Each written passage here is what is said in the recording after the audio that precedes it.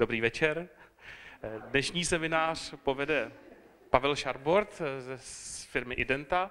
Já doufám, že se představí sám. My jsme ho s Honzou Typmanem oslovili před několika týdny s tím, že se nám zdálo, že by to byl člověk, který eh, mohl popovídat o problematice tvorby webů a eh, mohl eh, přijít nebo mohl představit svůj postup nebo své postupy práce, které mě zajímají a doufám, že budou zajímat i vás. Takže tímto ti předávám slovo a vám přeju příjemný zážitek. Díky.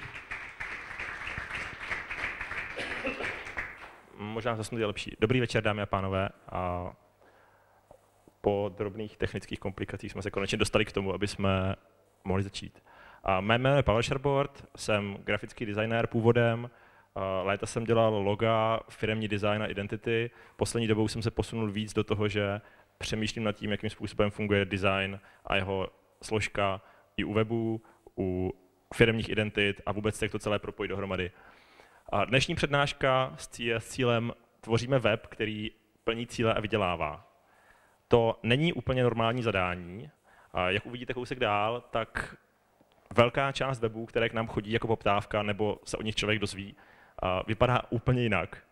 A já bych za dnešní večer rád zaprvé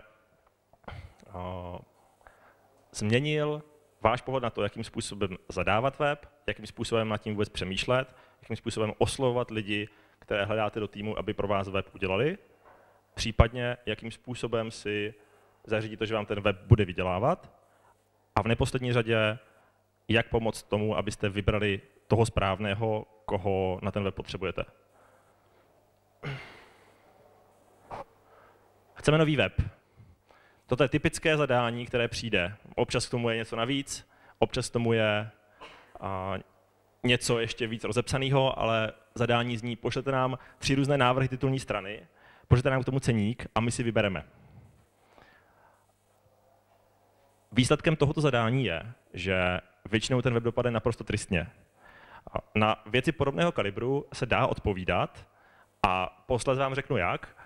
Každopádně já vždycky mám rád, když se můžu i dívat na to, jakým způsobem, když nějaká firma vybere konkrétní jiné řešení, nebo řešení od nějaké jiné firmy, tak se dívám po delší době, jak takovéhle zadání dopadlo. Třeba po roce, po roce a půl už prostě vidíte funkční web, který prošel tímhle zadáním a většinou to dost velká tragédie. Nevím, jestli vidíte tu červenou linku. A každopádně výběrová řízení s většinou, nebo vůbec to, jak někdo zadává web, vypadají stylem sepíšeme požadavky, co chceme, aby to bylo, aby to dělalo. Aby to dělalo všechny věci od technických údajů, od nejrůznějších pseudopožadavků typu ITáci vypíšou jejich požadavky na informační systém, který je někde zatím schovaný. A potřebujeme design titulní strany, ten, aby to mohl někdo v našem managementu schválit, obvykle hlasováním ano, ne, líbí, nelíbí. A ta červená linka je to, co přijde v tom výběrovém řízení. A to, co je pod ní, je to, co většinou by firma nebo člověk, který web vůbec tvoří a nabízí, tak měl realizovat. Výsledkem tohoto je, že web s tímto zadáním nebo s tímto procesem většinou skončí naprostou katastrofou.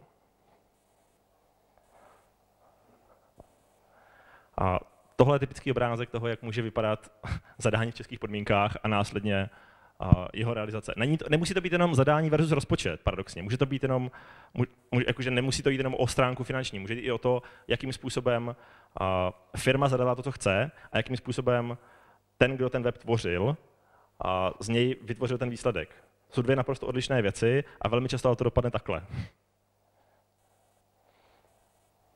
Tak. A my, když tvoříme weby a vlastně tímto děkuji Unii grafického designu za nakopnutí, protože my to ještě stále na webu máme úplně jinak než takto. Takže přednáška je skvělá v tom, že nám to pomohlo si to vlastně pořádně ujednotit a zároveň to dát prezentovatelnou formou ven. To, že tvoříte nějaký web, je proces. Proces na jeho začátku je vůbec to, k čemu ten web chceme mít, jaká je strategie, jaká je vůbec, co jsme za firmu, jakým způsobem uvažujeme. Až po to, aby na konci nám na ten web pravidelně chodili lidi a nějakým způsobem se dozvěděli o naší službě a vytvořit akci, kterou, akci, kterou my chceme, aby oni udělali, respektive aby oni udělali akci, kterou my chceme, aby udělali. Toto, co tady teďka vidíte, tak je, dejme tomu, šest velmi zjednodušených kroků, ve které je spousta dalších podpoložek, které uvidíte na dalším slajdu. A to, co tím chci říct, je to, že neuvažujte o webu jako o jednorázové věci. To, co tady v tomhle pak uvidíte, v tom, v tom dejme tomu, v těch šesti následných krocích, tak je proces, jakým vy, vaše firma nebo váš projekt by měli uvažovat o webu od začátku do konce.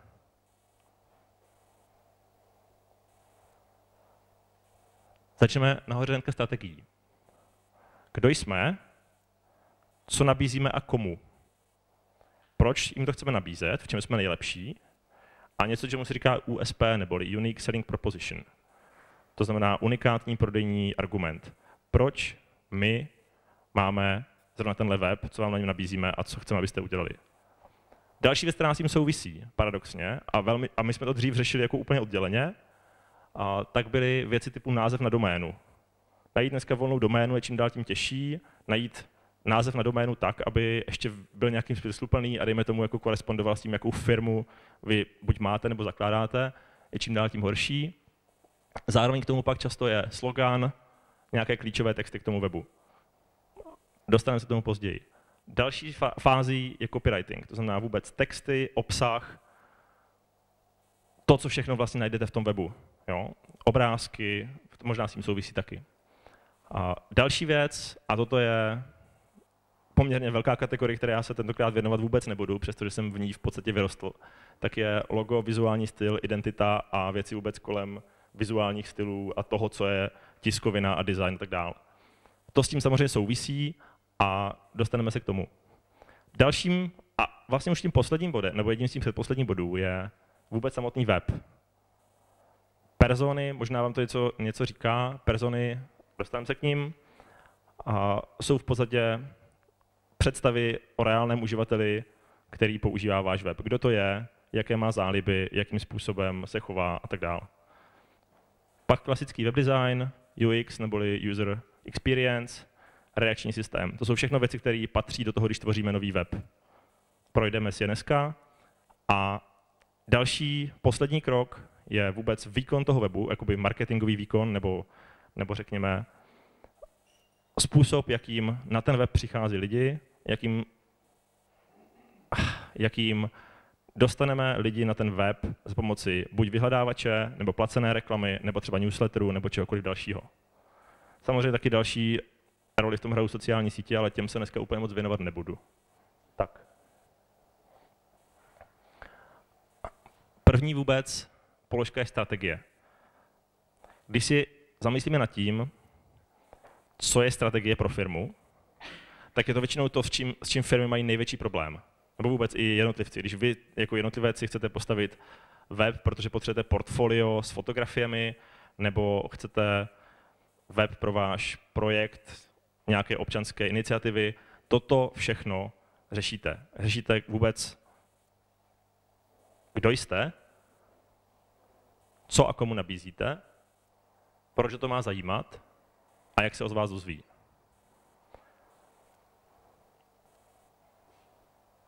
Tohle jsou čtyři úplně jednoduché otázky a 80% lidí, kteří zadávají weby, tohle vůbec neřeší, případně to neví, případně to nad tím nikdy nepřemýšleli.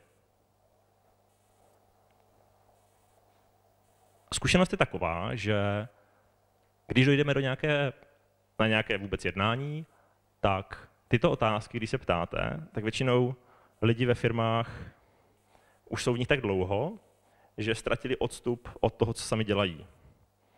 A když my začneme ptát úplně jednoduché otázky, tak oni najednou zjišťují, že se třeba kolikrát posunuli někam, kde vůbec nechtěli být, nebo naopak a vlastně něco dělají podvědomě dobře, akorát to neříkají a nemají to takhle ujasněné.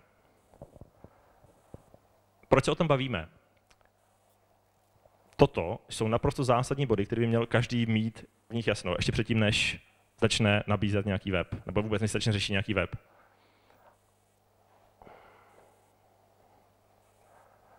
To, co z toho vyplyne, je unikátní prodejní argument, který říká, naše služba nebo produkt je nejlepší buď v nějakém místě, nebo v nějakém oboru. A protože důvod, proč tak nejlepší. Můžete vidět tohle i v různé jiné podobě, to není jako jediná jenom definice, ale v podstatě je to jedna z typických, jeden z typických způsobů, jak říct to, co ta firma dělá a jakou užitnou hodnotu má pro své uživatele. O tom, jaký jsou uživatelé nebo pro koho ta služba je, to je zase tady v tomhle. Typicky, když někdo řekne, potřebujeme web, který je pro všechny, protože to má zajímat, protože jsme skvělí, jak se od vás dozví, no dáme mu vizitku, tak to je špatný přístup a vůbec je to celé, jako celé postup, který nikoho nepřivede k tomu, aby udělal to, co vy chcete. Kdo jste, většinou víte. Víte, co ta firma, víte, co je ten projekt, víte, kdo jste případně vy osobně. Co a komu nabízíte, je výrazně složitější. Je potřeba si ujasnit v tom, kdo je ten konkrétní člověk a jaký jsou přímo jeho charakteristiky. Je to prostě generální ředitel, je to manažer, je to běžný člověk na ulici, je to prostě každý, kdo hledá nějakou konkrétní frázi třeba v Google. Kdo to vlastně je? Proč to má zajímat? Je většinou důvod, jakým se my odlišujeme od konkurence. Proč mám chtít zrovna službu od vás a ne od někoho jiného? Jakým způsobem tohle promítneme do textů na web?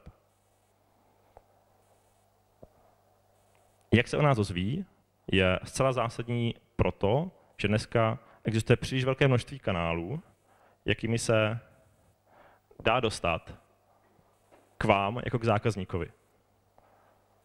Tohle je z knížky Skvělé služby, kterou doporučuji, pokud jste ještě nečetli. Každopádně těch kanálů, jak se někdo může dostat na váš, na cokoliv v kontaktu s vámi nebo s vaší službou, je prostě strašně moc. Ať už prostě televize, média, outdoor, prostě spousty věcí, až po zaměstnance, prodejnu a tak dál, přes Facebook, Twitter a právě přes web. To, co řešíme v téhle části, je, jak si vybrat pro váš projekt to nejdůležitější, co dává smysl a v tom se propagovat. Má to smysl televize, bude to drahé. Jo? Je pro nás zajímavá adresná pošta, za, jaké okolno, za jakých okolností. Zase to souvisí s tím, kdo je náš uživatel. Když víme, že náš uživatel je 65-letá babička, tak asi nemá smysl pro ní stavět web a radši pošleme dopis. Kdybychom věděli, že naším uživatelem jsou mladí lidé do 50, do třeba do 40 let, tak prostě pro ně web má naprosto bez problémů smysl a zároveň třeba pro ně má smysl Facebook a třeba nějaký blog. Toto je vysoce individuální a každá firma se nebo každý projekt se to musí nastavit sám. Ale zase může se tomu pomoct. Můžeme tomu prostě pomoct takovým způsobem, aby vy jste věděli, který z těch kanálů vůbec používáte a který tím pádem potřebujeme řešit.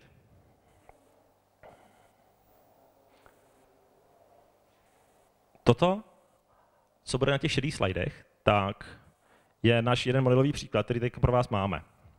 Pojďme úplně od začátku, krok za krokem, abyste viděli, jak to probíhá v procesu, který je úplně nový. Je to business na, na zelené louce v podstatě.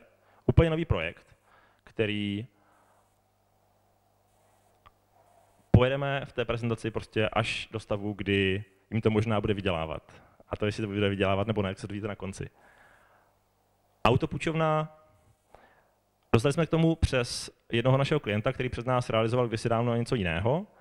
A on měl, Tomáš Brankovský, měl k dispozici náhradní auta. On poskytoval náhradní vozidla, ve chvíli se vybouráte, tak prostě jeho firma poskytovala náhradní vozidla těm poškozeným a pak jim to pojišťovna proplatí. A on přišel se zadáním a říká, hele, chceme zkusit autopučovnu, protože máme ty auta, máme zkušenost s těma autama, s tím, s tím půjčováním a rádi bychom rozjeli něco, co nebude začátku vůbec velký risk, protože to chceme zkusit, jestli nám to bude fungovat nebo ne. Máme na to relativně malý a omezený rozpočet, tím myslel třeba do řádově 20 000 korun, a jestli se to podaří rozjet. S tím, že my jsme řekli OK, můžeme se tím zamyslet a v tomhle celým uvidíte, jakým způsobem probíhá tvorba nového projektu. V podstatě na zelené louce. Oni, kromě toho, že mají ty auta, neměli vůbec nic. Neměli žádný web, neměli žádnou doménu, neměli žádný název, neměli vůbec nic. Jediné, co bylo jasné, že to je autopučovna.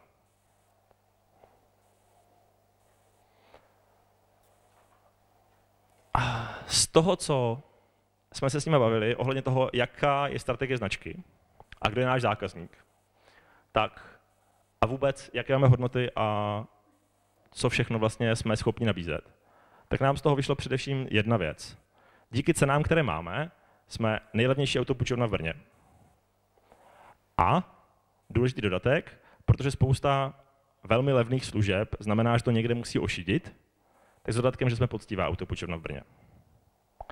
To je docela zásadní, protože cena se dá vytvořit různým způsobem a v žádném případě v dnešní době nechcete zákazníky šidit buď nějakou reklamou, která je zavádějící, nebo ceníkem, který je zavádějící, nebo čímkoliv, co je, jakým způsob, jakýmkoliv způsobem může jako nebudit důvěru. To znamená, tohle bylo zadání a zároveň věta, která je unikátní nabídka pro tuto konkrétní autopůjčovnu. Co pro ně potřebujeme? Vůbec název volnou doménu, slogan, texty pro web a fotografie vozů, web s jasnou konverzní cestou a potom vyhledávače. To znamená, ať už přirozeně pomocí SEO, Search Engine Optimization, to znamená optimalizace pro vyhledávače Google a Seznam, a případně placená reklama AdWords S-Click. Tohle je vlastně zhrnutí toho, co všechno my vytvoříme jako kanály, vedoucí k tomu zákazníkovi. Vy ten velký kruh, tři slajdy zpátky. V podstatě z toho plyne, že nás zajímá akorát web a jak se ty lidi dostanou na ten web.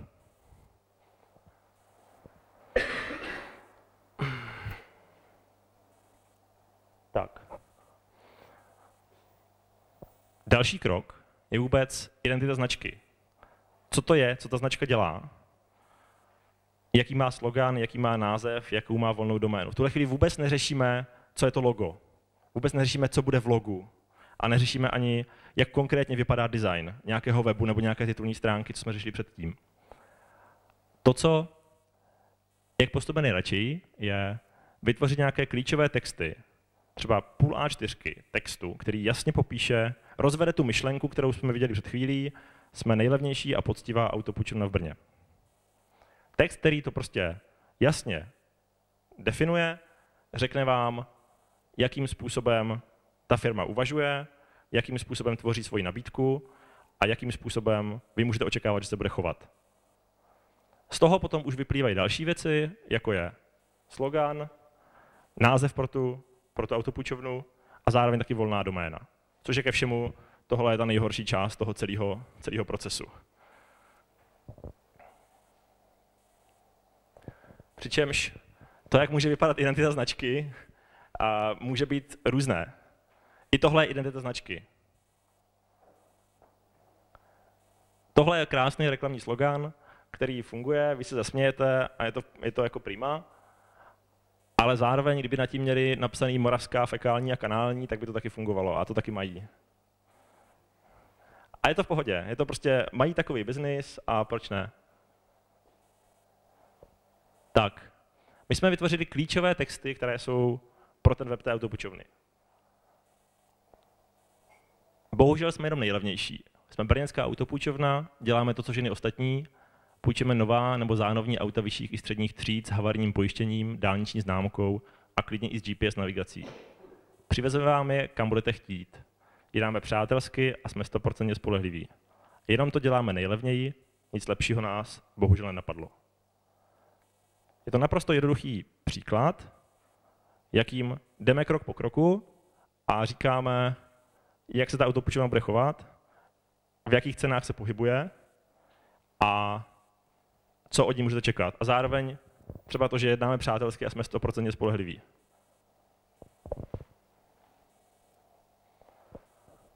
A zároveň, protože jsme potřebovali mimo jiné do vyhledávačů a do Google, které jsou pro nás důležité visk pár kroků zpátky, dostat frázi nejlevnější autopůjčovna, ale nechtěli jsme ho použít furt do kolečka. A zároveň nám přišlo docela zavádějící, protože prostě je to jenom hloupá fráze tak jsme to postavili právě přes tímhle způsobem, který, který říká, i spojení, jako dlouho, i spojení nejlevnější autopůjčovna nám přijde příliš dlouhé. To znamená, i to, že vy se vůči něčemu jako negativně vymezíte na tom webu z pohledu uživatele, je pěkné, ale z pohledu vyhledávače stále tam máte nejlevnější autopůjčovna.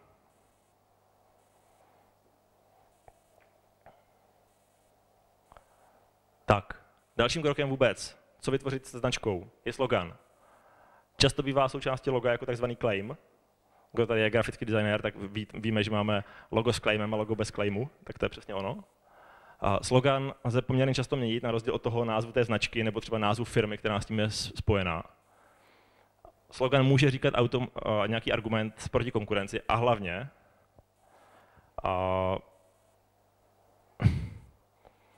a hlavně tím zase můžete tomu člověku říct nějakou náladu nebo nějakou další citově zabarvenou informaci, kterou prostě ten člověk potřebuje ve chvíli, kdy tvoříte název. Což v tomhle případě bylo to, bohužel jsme nejlevnější. Jo, tak takhle. To znamená, i kdybychom si potom představili, že máme logo, tak můžeme mít autopůjčovna, otázka zní jaká, a zároveň bohužel jsme nejlevnější. Potom, poslední krok, který v tomhle procesu vůbec je, je jak vymyslet název na firmu nebo projekt. Máme na blogu relativně dlouhý článek o tom vůbec, jak to přesně vybrat. Nicméně asi nejlepší návod je tento. Krátký a zapamatovatelný název. Říká se ideálně ne déle než tři slabiky, to znamená plus minus třeba nějakých 8-9 písmen. Bez zkratek, číslic a pomlček. Rozhodně nechcete něco jedna pomlčka nejkrásnější bioobchod.cz. A další věc, chcete rozhodně název, který je z vyslovení jasný, jak se píše. Když vymyslíte název třeba typu Kubikue, psáno Cubi, Q, U, E, tak to budete muset neustále někomu hláskovat. To šílený a nedělejte to. Co se týče vytvoření názvu na firmu, tak největším omezením v tuto chvíli jsou fakt volné domény. Protože prostě v Česku jich je vybraných spousta, bavíme se o doménách com, tak jich je vybraných ještě víc. A najít něco, co dává smysl a zároveň to není zabrané a zároveň to nemá konkurence, je čím dál tím větší problém. Toto je můj osobní tip na to, jak poznáte, jestli váš potenciální nový, nový název pro doménu je správně. Představte si, že, nadiktujete, že diktujete váš e-mail někomu do telefonu. Já to dělám možná desetkrát týdně. Někomu diktuju e-mail do telefonu z nějakého důvodu. Pokud máte strašné příjmení, jako mám já, tak se vám v 80% případů stane, že to někdo pošle špatně. V tu chvíli jsem byl prostě rád, že můžu mít e-mail jenom krátký Pavel Zavináč Identa, protože prostě se všichni maximálně zeptají na to, jestli to není identita, anebo jestli to i na začátku je měkké, ale to je v podstatě v pohodě. Takže rozhodně každý nový projekt posuzujte podle toho, jak vaše konkrétní příjmení nebo příjmení kohokoliv, koho máte v tom týmu, nalízete po telefonu. Z toho vám samozřejmě vyplyne to, že názvy typu Šárka, Kubikwe, uh, IO, design a cokoliv jiného jsou prostě k ničemu, protože lidi nebudou vědět, jak to mají napsat. Typicky jsou to SZ problém, měkké, tvrdé I, různé pomlčky, různé jako netradiční, netradiční značky typu čísla a tak dál, s tím prostě vždycky všichni mají problém. Jo, představte si na, na diktování po telefonu. Tak. A teprve v tu chvíli řešíme volnou doménu. Přičemž, když vůbec chcete vybrat název na doménu, tak je to v podstatě velký brainstorming. Vy prostě vysypete spoustu nápadů, které jakž takž odpovídají tomu zadání, to, to znamená tomu klíčovému textu, který máte o pár kroků dřív. A potom začnete přemýšlet tím, jakým způsobem by to mohlo vypadat. V doménách chcete ještě, ještě relativně v pohodě. Jakmile se prostě posuneme na, na komu doménu, tak výsledkem toho je, že tam je to prostě tak rozebraný, že vy nemáte moc šanci. A reálně ze stovek nápadů zbydou třeba klidně jeden, dva, nebo prostě možná třeba pár jednot, jako jednotek kusů, které jsou použitelné a nejsou zabraný. Další samozřejmě je problém ve chvíli, kdy máte doménu nebo název na projekt, tím pádem i název na logo, tak pak dojdete na úřad průmyslového vlastnictví a řeknete, že byste rádi tady tuhle značku nebo ten, ten název vůbec jenom jako si nechali rešerši, jestli tahle značka může být zaregistrovaná. A zjistíte třeba, že ten stejný název používá v Evropské unii, protože v rámci Evropy je to nějak standardizované, tak v Evropské unii používá třeba 4, další, 4 5 dalších firm. A každá může být v jiném státě dělající cokoliv jiného. Ale pokud by se stalo, že vy chcete řešit třeba web design a má to firma z Německa, tak je vysoce pravděpodobné, že tu značku nebudete moct v rámci Evropské unie použít. Jo, to znamená, i toto je poměrně velký, velké síto, které prostě odfiltruje spoustu nápadů pryč. A výsledkem toho je, že ze spousty nápadů nemusí být vůbec žádný. tak. My, když jsme, uh, ještě to řeknu jenom, může to trvat, jako proces vůbec vymýšlení názvu značky, může trvat chvíli, jako může to být v podstatě za pár hodin hotové. Ale většinou ten proces je tak třeba 14 dní, 3 týdny, kdy se nad tím fakt uvaří hlavy prostě spousty kreativců, kteří přemýšlí nad tím, jakým způsobem tu značku postavit, tak aby fungovala, aby ta doména prostě byla v pohodě. A my sami, když jsme si vymýšleli název na identu, tak nám to trvalo asi roka čtvrt, uvařili jsme tam hlavě asi 8 různých lidí a pak nás to prostě napadlo jako takhle. Že jsme spojili dvě slova dohromady a, a výsledek byl prostě za čtvrt hodiny venku. Takže ten proces trvá dlouho a rozhodně vám v tom přeju hodně štěstí, protože je to velmi náročná věc.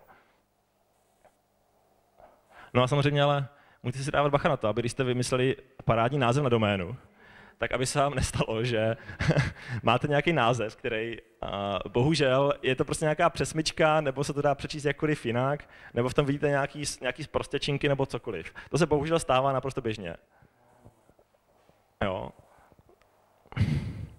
Takže zase, další kolo je to, když už vymyslíte nějaký název, který vám prošel do toho dalšího síta, tak potom ho dejte, ho třeba řekněte čtyřem, pěti, šesti dalším lidem, jenom tak, abyste jim se zkusili říct a za druhé, aby si oni zkusili napsat, aby se tady tahle situace neopakovala. Aha. Jo, jo, jo, jo, do mikrofonu určitě. Mhm. Dobrý večer, já jsem se chtěl jenom zeptat, eh, jak je to s doménama, dejme tomu EU nebo net, eh, pro český prostředí. Je to vhodné to dávat, nebo se to má člověk úplně vyvarovat? Jo, a domény net a EU v podstatě nepoužíváme. My pokud děláme nějaké domény, tak buď CZ nebo com. Mm, pro ten globální biznis je rozhodně com, pak když je to nějaká česká firma typu autopučovna nebo, nebo třeba právníci nebo prostě lidi, kteří jsou jako lokálně čeští, tak stačí prostě v pohodě CZ doména. Samozřejmě to, jestli si vyberete doménu CZ nebo com, tak dost zásadním způsobem ovlivňuje to, jak moc času je potřeba věnovat tomu, abyste tu doménu našli, že je volná. A rozhodně další domény typu biz, org a tak dál používáme velmi, velmi zřídka. Spíš bych se bavil o jednotkách případů, kdy, kdy jsme to jako vymysleli. A ještě jedna věc s tím souvisí, když vymýšlíte název na doménu, tak pokud už ho máte v nějakým dalším kroku, jakože byste si mysleli, že je to docela dobrý název, tak si ho zabukujte ještě předtím, než ho budete posílat někam dál. Protože už se stalo to, že takový ten programátorský vtípek, že sedí čtyři programátoři u stolu, jeden z nich přijde a říká, vymyslel jsem skvělý název na náš projekt. A tak ho řekne a ti čtyři další si to rovnou registrují sami na sebe. Tak, a když se vrátíme k té autopučovně, my jsme dlouho přemýšleli vůbec nad tím, jak to postavit. A bohužel značku, která se jmenuje nejlevnější autopučovna, udělat nemůžete. Ani nejlevnější autopučovna v Brně, protože to už prostě vyslovat fakt nechcete. A navíc další věc, ta autopučovna nemusí být dlouhodobě nejlevnější. To znamená, takovýto název je ke všemu i napadnutelný jako právním způsobem. No, pak nám přišlo, že bychom mohli použít nejlepší autopučovna, protože fakt máme skvělé ceny a máme dobrou nabídku. Ale to už nám přišlo takové hodně vychloubačné a zbytečně, zbytečně prostě, že by to tomu nesedělo. Uh, tak jsme šli trošku ještě níž na skvělá autopučovna, což zní dobře, ale pak nám přišlo, že dobrá autopučovna zní ještě líp. A nakonec jsme u ní zůstali poměrně rychle, protože nám to přišlo, že dobrá autopůjčovna sedí s tím konceptem, že jsou spolehliví, mají dobré ceny, mají dobrý servis a tahle doména jim zůstala. Ty další nemusíte zkoušet registrovat, my jsme si zaregistrovali taky pro jistotu. A samozřejmě s pomlčkama. O tom jenom varianta s pomlčkou v podstatě spíš variantu s pomlčkou nechcete.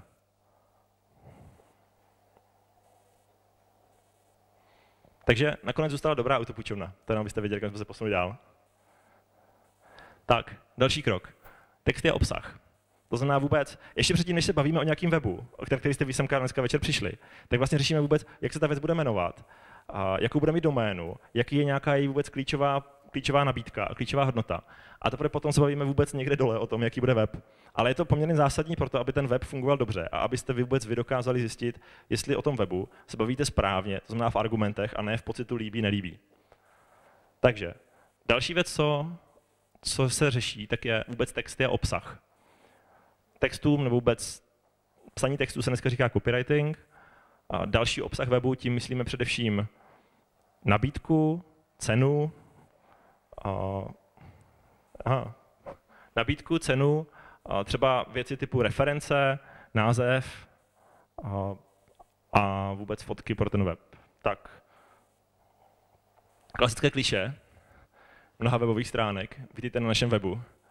A takovýhle věcem už se prostě dneska odzvonilo a rozhodně nechcete, aby na vašem webu byly. A zároveň byste si měli dát pozor na to, aby váš text nezněl jako nějaký úřednický ptydepe. Tohle je reálný text z webu jednoho, jednoho nejmenovaného webu, možná to ani neskoušíte googlit. A, a každopádně to šílený, to prostě se ani nedá číst. A toto je rozhodně věc, kterou číst nechcete. To, co je dneska důležité u textu na web, najděte si profesionální copywritera, který umí texty napsat. Sekretářka není copywriter. Šéf marketingového oddělení není copywriter. Pan šéf, který strávil v firmě 15 let a vybudovali od píky, není copywriter. Najděte si člověka, který není v té firmě, který prostě je schopný se zvenku podívat na to, jakým způsobem ta firma nabízí svoje, svoje služby, nabízí ten produkt a ať to on napíše. Je to krátké, stručné, jasné a úderné. Když se vrátíme k autopučovně. Vlastní servis. Máme vlastní servis za nákladové ceny.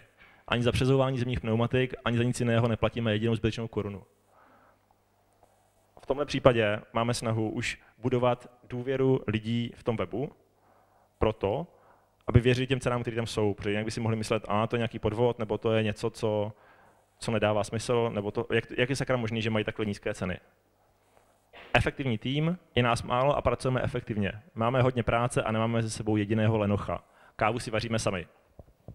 Zase další jenom pro potvrzení toho, jak oni fungují, co oni můžete čekat a podporuje argumenty, protože mají opravdu dobré ceny provozní úspory, neplatíme drahé reprezentativní kanceláře, neefektivní marketingové materiály ani zbytečný personál. Dělá to divy. Tím, tím neefektivní marketingové materiály v tuhle chvíli mimochodem myslíme to, že kromě toho webu a vyhledávačů a PPCčka, oni nemají nic jiného.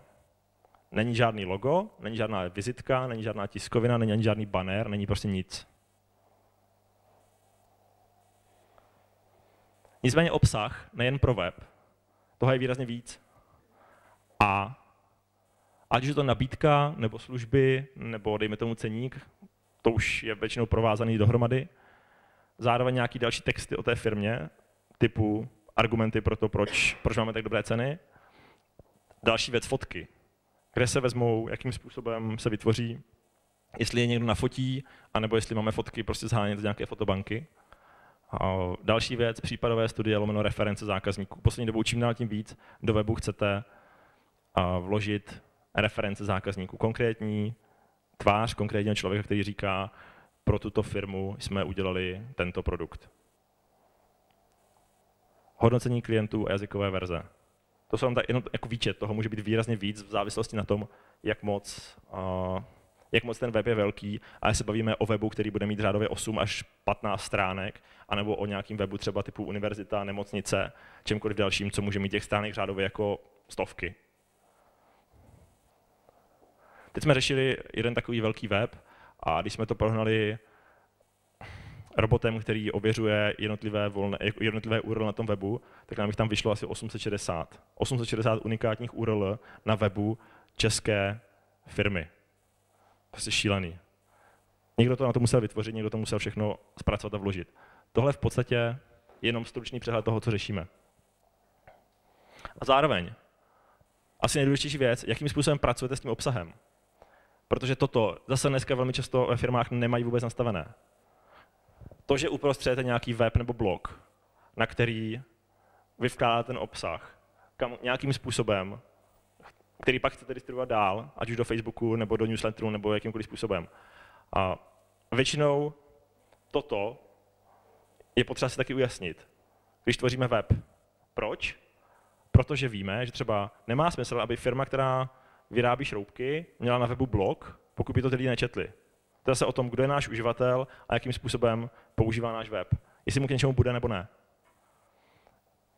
Události, data, obsah. Tím se myslí především třeba to, že tady je nějaká přednáška, která bude nejspíš potom na nějakém videu, k němu bude obsah na SlideShare, který se potom dá dát na blog, který potom se dá všem poslat newsletterem a dá se dát na Facebook a dá se dát na LinkedIn. Tohle váš projekt musí mít nastavené a musí vědět, co s tím má dělat. Datama, myslím, nejrůznější údaje, často jsou poslední populární různé infografiky a věci tohoto typu, nebo jiný obsah, který dokážete vytvořit, ať už třeba různé návody, kuchařky, manuály, typy pro uživatele, rady zdarma a cokoliv. Jo, to je jenom, tady toho samozřejmě může být víc, stejně jako prostě kanálu, kam to nahrajeme, třeba Pinterest, cokoliv dalšího.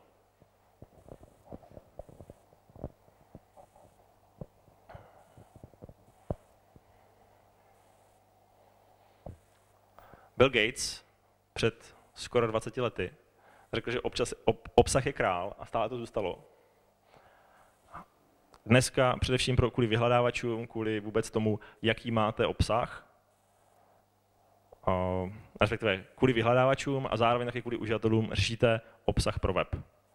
Není to jenom naše nabídka, ale velmi často už blog, velmi často nějaké unikátní věci, které prostě nenajdete. Především v českém prostředí je unikátní, originální content, jakože obsah, s nějakou přidanou hodnotou pro vás jako pro uživatele, stále ještě relativně zácný. V oborech typu marketing, design, reklama je to ještě relativně jako časté, protože tam těch firm je hodně a oni si uvědomují, že to, že to zvládá, že to zvládají. Ale když už se byste podívali do třeba řeznictví nebo menší rodinná firma, tak prostě firm, který budou blogovat na nějaké velmi specifické téma, je prostě velmi, velmi málo. Jo, čili obsahu, unikátního obsahu v tomhle prostředí stále ještě není dost. Tak, zároveň fotky. Kde se vezmou, jakým způsobem? Tady je výpis zhruba šesti těch relativně levnějších. Pak samozřejmě jsou fotky, kde, fotobanky, kde můžete za jednu fotku nechat klidně i 8, 10, 15 tisíc korun, není to vůbec problém. Nicméně zase, počítejte s tím, že to někdo musí vybrat a že ty fotky jako takové by měly vůbec sedět tomu, jakým způsobem probíhá komunikace té firmy v České republice. To znamená odpovídající tváře lidí, odpovídajícího věku, zase odpovídající té cílové skupině, o které jsme se bavili na začátku. Co doporučujeme pro blog, když máte blog, tak Flickr když si ho otevřete, tak v Advanced Search, jakože v podrobnějším vyhledávání, umožňuje hledat věci, které mají licenci Creative Commons a z tohle licen, ta licence umožňuje to, že vy můžete na tom obsahu dál stavět a nebo můžete stavět i dílo, které můžete dál komerčně prodávat. To znamená, že třeba pro menší firmní blog o lifestylu nebo o cestování někam do zahraničí můžete bez problému takovéhle fotky používat a zároveň vůbec nemusíte nikomu platit žádné peníze za to, že ty fotky využíváte. Ale je potřeba si dát pozor na tu, na tu licenci. Nejsou tam fotky lidí, to je většinou problém, na to už jsou prostě placené fotobanky, které jsou nahoře. A teďka relativně novinka, která mě zaujala a myslím, že byste ji mohli ocenit i vy, tak je, že Getty Images, poměrně velká, poměrně drahá fotobanka, umožnila to, že, protože asi zjistila, že lidi často kradou fotky, nebo nevím, tak umožnila to, že vy si můžete vložit nějaký kód do vašeho webu, který zobrazuje tu konkrétní fotku, ale máte ji zdarma, ale ta fotka stále patří té fotobance. To znamená, to není tak, že vy byste ten, tu fotku jakože ukradli nebo si ji stáhli a prostě bez placení a tak dál, ale máte fotku, kterou máte legálně na vašem webu, akorát za pomocí toho kódu. Nevím úplně přesně, jak to mají vyřešené, jestli tam budou třeba vkládat pak možná časem třeba nějakou reklamu nebo minimálně odkaz na tu fotobanku, aby měli zase třeba větší prokliky kvůli SEO a kvůli těm věcem. Úplně přesně nevím, jak to mají vyřešené. Každopádně je to hrozně dobrý tip na to, jak získávat fotky pro váš, pro váš web. No a pak samozřejmě řešíme fotky v režimu, že si je necháte nafotit profesionálním fotografem nebo někým, někým prostě z té, z té firmy. A další důležitá věc, dneska s rozmachem mobilů, s rozmachem digitálních foťáků, s rozmachem Instagramu a tady tohle všeho, typicky pro blogy je úplně nejlepší, když prostě fotky fotí klidně někdo rovnou prostě od vás.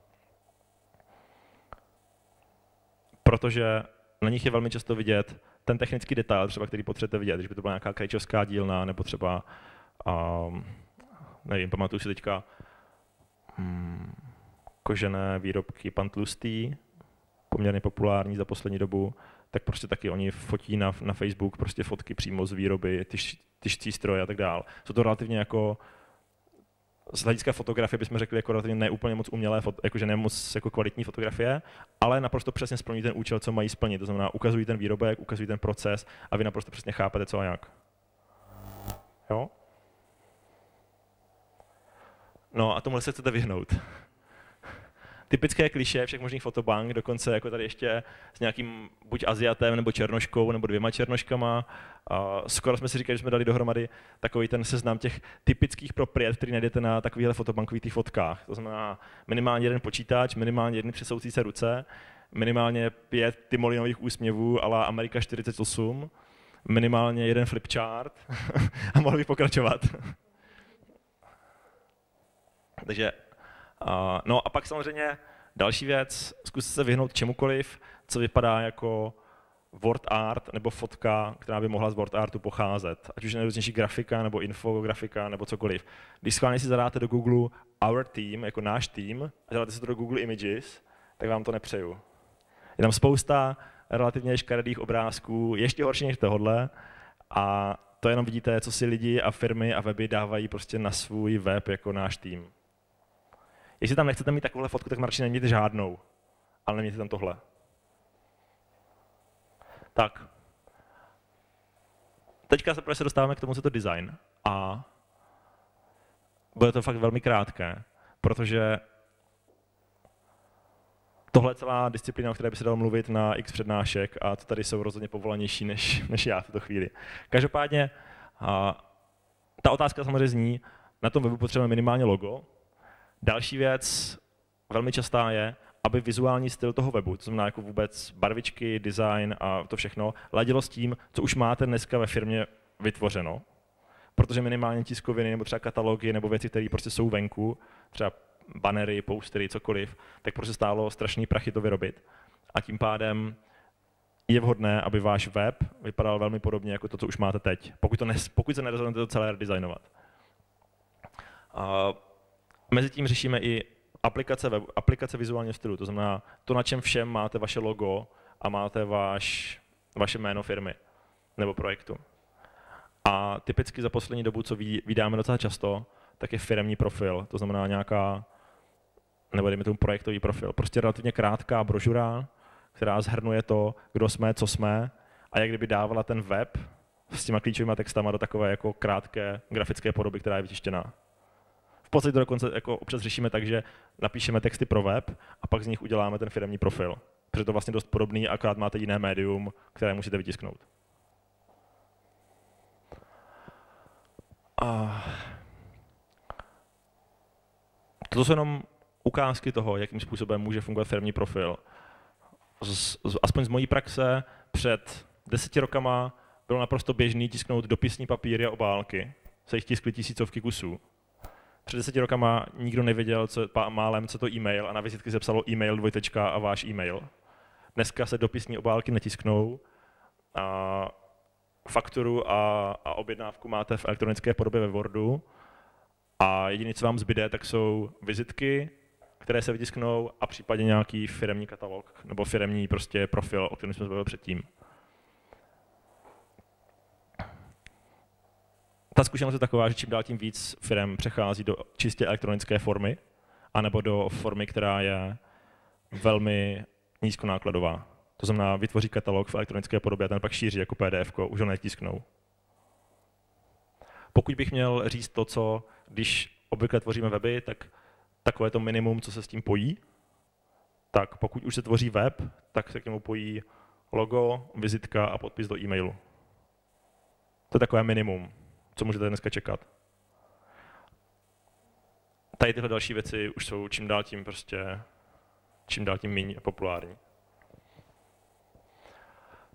Co jenom, co jenom bych tím rád navázal na to, že je tady spousta špičkových designérů, kteří dělají nádherné identity, nádherný loga a toto je jenom způsob, jak propojit v jisté fázi design, který už máte, nebo který třeba vytváříte, s tím, jakým způsobem přemýšlíte o tom webu. To spolu souvisí.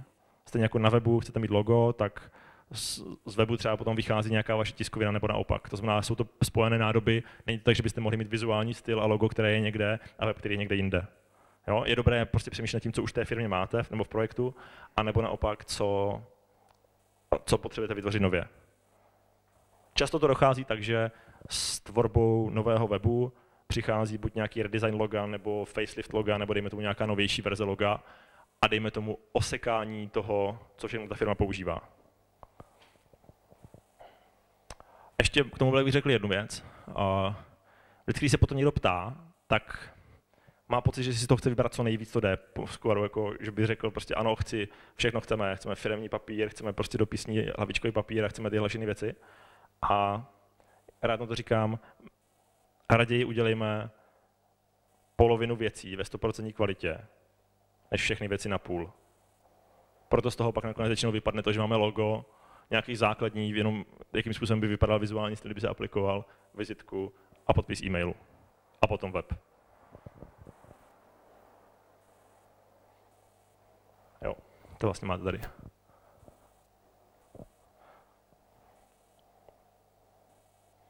Tak. A dostáváme se vůbec k webu jako takovému. Po poměrně slidech. A to, co vůbec řešíme, tak je spousta věcí, které možná někteří z vás neslyšeli. A pro menší weby, jako je dobrá autopučovna, kterou jsme na chvilku opustili, ale možná taky proto, že design a věci jsme u ní vůbec neřešili, tak pro menší weby se to dá řešit výrazně rychleji. Máte-li větší web, tak je potřeba jít výrazně víc do podrobna. Teďka otázka, v jaké chvíli naznáte, že některé z těch věcí prostě řešíme spíš pro větší web a některé pro menší. Každopádně, studie proveditelnosti, to je vůbec věc, kterou Honza Řezáč když si dávno napsal článek na Lupu a v ní vůbec popsal to, jakým způsobem se řeší zadávání pro web. To vůbec není žádný, to mimochodem toto celé, vlastně není vůbec žádný design, není to vůbec žádné technické řešení toho webu, žádné konkrétní prostě výstupy a tak dál.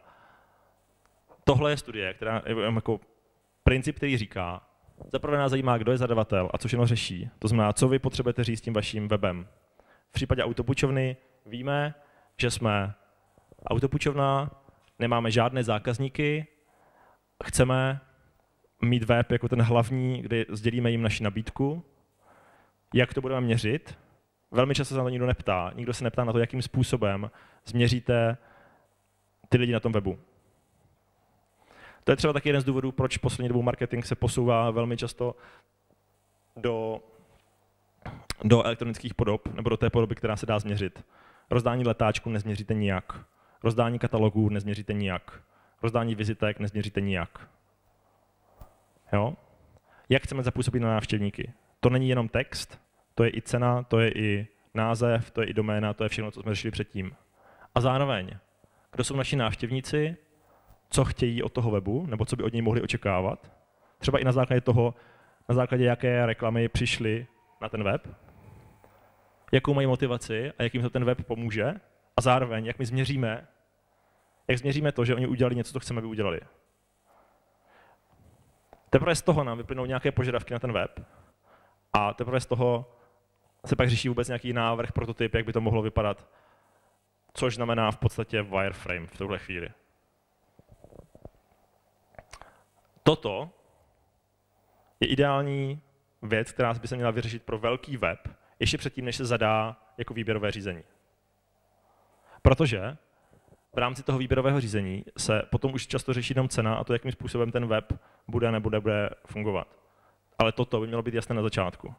Bohužel, to, co jsme viděli úplně na, úplně na, na jednom z prvních slajdů, tak velmi často je to tak, že se začne u těch požadavků, potom se začne, potom další krok není prototyp řešení, ale grafický návrh, který je ještě o dva kroky dál, a potom je implementace spuštění. Jakmile řešíme tyhle věci, tak se nám mnohem lépe argumentuje o tom, proč třeba na titulní straně mají být, některé prvky být mají a některé ne. Tímhle, tohle studií vůbec, se dostáváme do stavu, že jsme schopni přemýšlet nad tím, jestli, uh, jestli ten konkrétní prvek na té titulní straně má být nebo ne. A už to najednou logická argumentace, nikoliv argumentace ve smyslu líbí nebo nelíbí. To, čemu se chceme vyhnout u webu a u webdesignu, je to, že nám někdo řekne nejlépe nějaká komise, nám se to nelíbí. Pokud řešíme tohle, konkrétní argumenty pro to, co by tam být mělo a co ne, jakým způsobem to plní naše cíle, jakým způsobem to řeší naši potřebu a zároveň zákazníkovou potřebu, tak je to úplně jiná debata.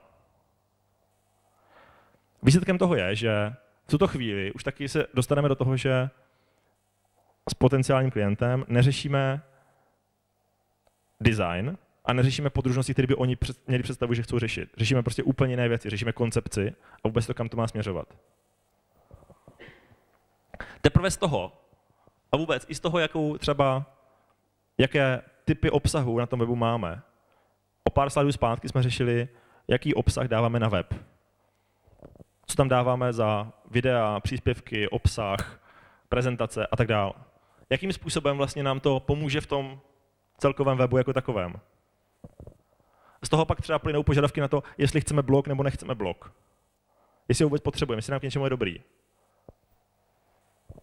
Zároveň třeba z toho plyne, chceme tam mít telefonní číslo nebo nechceme mít telefonní číslo na webu. Jo? Spousta prostě otázek najednou začíná dávat smysl ve chvíli, kdy se ptáme, hodně ze široka na začátku. Bohužel je to většinou tak, ale že toto se málo kdy řeší. U menších webů tohle lze vyřešit třeba, nebo dejme to až po fázi požadavky, lze vyřešit řádově za pár týdnů, jako jednotky týdnů. Jakmile je to větší web typu univerzita, nějaká třeba větší nemocnice, nějaký prostě větší, rozsáhlejší projekt, tak jenom zpracování zadání může trvat prostě řádově týdny.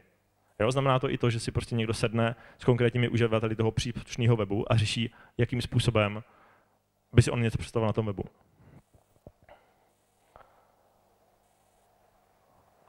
Teprve v další fázi se řeší realizace.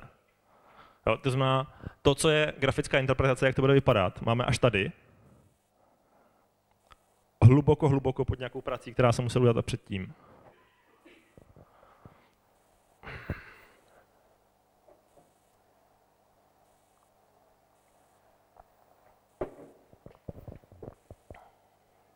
Tak, zároveň z toho nám v podstatě vyplyne, jaký typ webu potřebujeme.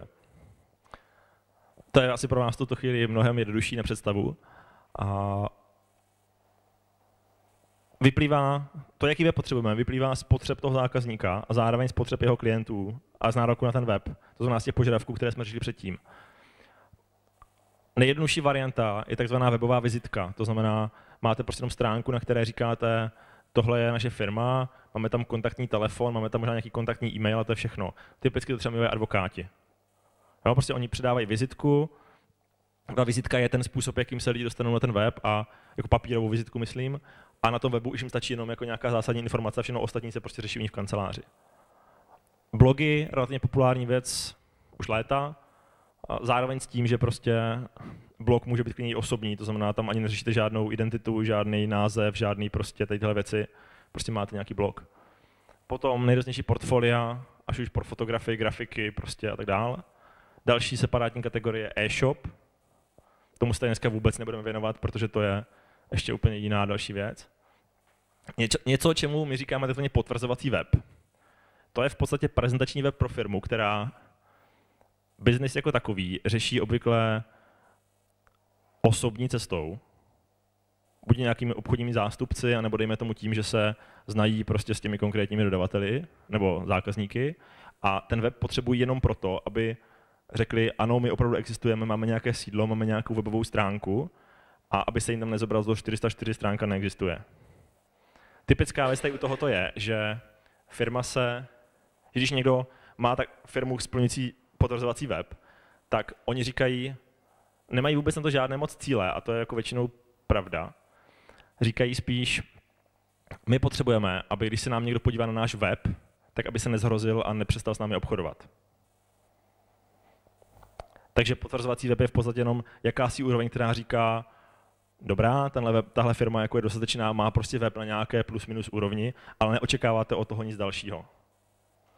No a pak máte web, který splňuje nějaké cíle, to znamená, v případě dobré autobučovny chceme, aby na web chodili návštěvníci, chceme, aby si přečetli naši nabídku, chceme, aby je oslovila a chceme, aby v ideálním případě buď zavolali, nebo třeba vyplnili nějaký kontaktní formulář, který chceme, aby udělali. Mm. V případě blogů vlastně velmi často vůbec se neřeší, jakým způsobem se třeba něco měří nebo neměří. Co chceme, aby návštěvník na webu udělal? To je vůbec jako zásadní otázka. Protože se, kolikrát to mnozí neví.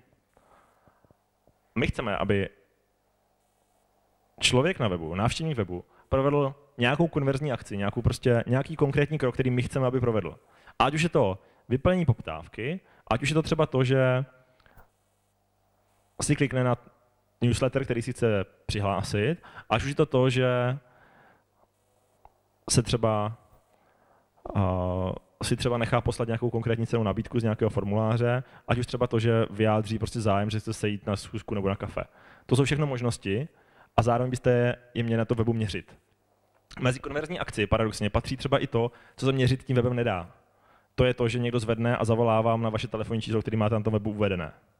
Nebo že vám napíše na infozavináč, což je normální e-mail, který většina firm má, ale zároveň tady v tomhle není. Nedá se moc měřit, prostě nejde to. A to, aby lidi nalezli nějakou informaci, kterou vy jim chcete dát. V případě autopůjčovny potřebujeme, aby našli ceník, našli nabídku a ta natolik přesvědčila, že oni budou mít zájem. A zároveň, aby získali nějaký pocit z, vašeho, z vaší služby nebo z vašeho webu. To jsou věci, které tohle se dá vyřešit designem a zároveň textem, Informace je především o tom, jakým způsobem ji podáte a konverzní akce je vyloženě záležitost webu. Toto je takzvaně Maslova pyramida webdesignu. Možná to znáte podobně jako Maslovo pyramidu lidských potřeb. Přičemž um, tohle je pyramida Honzy Řezáče, které, která má asi 9 kroků a zároveň čím víc z nich splníte, to znamená ve smyslu jako od spodu nahoru, tím vyšší je vaše šance, že návštěvník vašeho webu provede to, co chcete, aby provedl. Už to první z nich je nalezitelnost, což je docela velký problém, zvlášť prostě v dnešní době, kdy konkurence je spousta. To, že někdo najde váš web, je základní důležitý předpoklad pro to, aby vůbec ten web měl k něčemu smysl a měl smysl fungovat tím může být to, že někdo dostane vizitku, na které je napsaná vaše, vaše adresa webové stránky. Ale většinou to tak není. Většinou potřebujeme, aby se k nám dostali lidi i na základě vyhledávače. Dostupnost je to, že web bude na rychlém hostingu a že, dejme tomu, se načte relativně rychle. Přístupnost znamená, že se nám zobrazí třeba i na tabletu, nebo v případě toho, že někdo nevidomí, takže se třeba dá ten web přečíst pomocí jako hlasové čtečky. Použitelnost, to znamená, že se ten web dá ovládat vůbec. Intuitivnost, že víte, kde jsou které prvky, dokážete se pře, jakoby jednoduše zorientovat v architektuře toho webu, tak jak je tam postavený. Je to v podstatě struktura webu a to, jakým způsobem je navržený.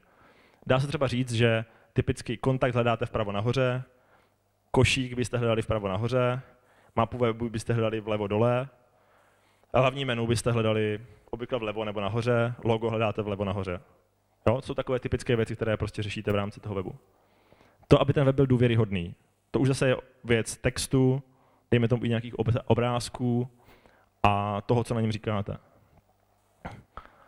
Přesvědčivost, emoce, to už je do značné míry součást toho designu, ale podpořená rozhodně texty a radost používání a to, aby vy jste měli pocit, že ten web vám k něčemu je.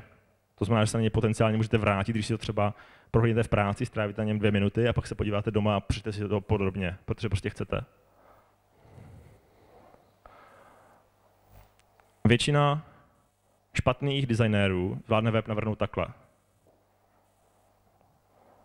To můžou být jednotlivci, to můžou být i horší studia, nebo kdokoliv vlastně nemá úplně zkušenost. Může navrhnout web takto. Ale samozřejmě otázka zní třeba, jak to pak bude s nalezitelností. Protože nalézt web pomocí toho, že zadáte tu konkrétní adresu do webu, je něco jiného, než to najít pomocí vyhledávače nebo pomocí reklamy. Toto je schopný zvládnout IT oddělení nějaké firmy. Obvykle. To znamená, IT není web design. IT není web. Paradoxně, ITáci jsou obvykle ti, kteří to jakože dostanou na starost. Protože k tomu mají jakože nejblíž. Toto zvládne grafický designér.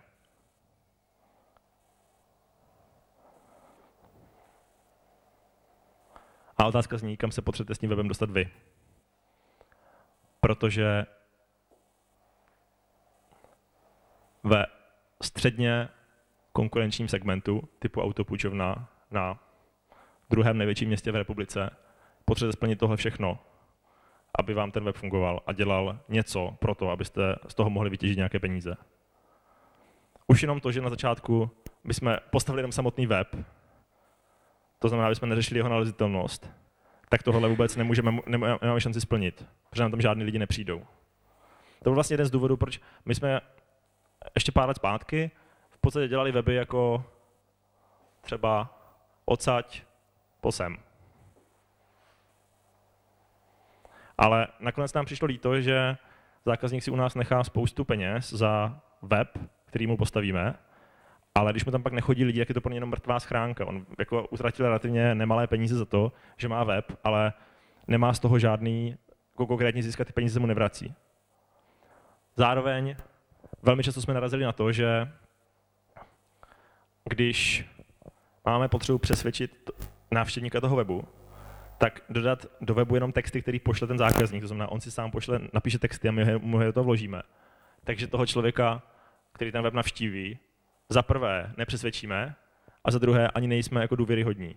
Protože prostě oni napíšou, vidíte na našem webu, případně historii naší firmy o 15 stránkách, která s prominutím nikoho nezajímá. To znamená, že dříve či později jsme dospěli k tomu, že chceme web řešit od úplně toho nejnižšího patra, o to, aby vás ty lidi dokázali najít. Až po to, že si přečtou, jakou máte nabídku, přečtou si, že jste důvěryhodní, třeba i díky tomu, že tam může být hodnocení nějakého klienta, přesvědčí je to a jsou na to nadšení, že zvednou telefon a zavolají vám nebo vyplní nějaký kontaktní formulář. Bohužel je to tak, že čím výš v té pyramidě jdete, jako čím výš se nahoru posunujete, tím zároveň víc taky jako rostou, ceny, rostou nároky na cenu toho webu, který stavíte.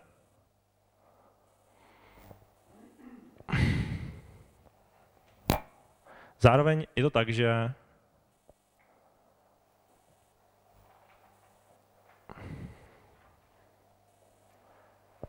když se podíváme na dva weby, které mají různou tu pyramidu, tak člověk, který tomu nerozumí, nepozná jejich rozdíl. Je to tak, že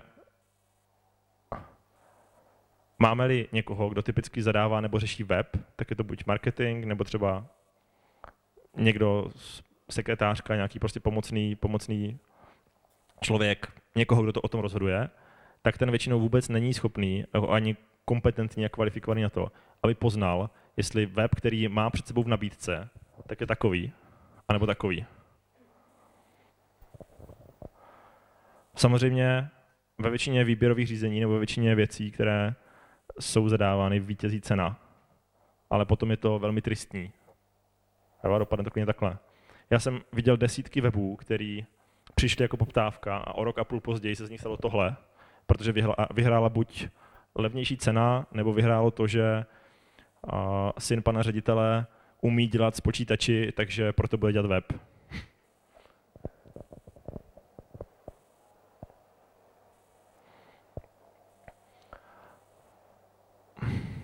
Jsou webové stránky, které některé z těch kategorií nepotřebují, ale to jsou spíš specifické případy.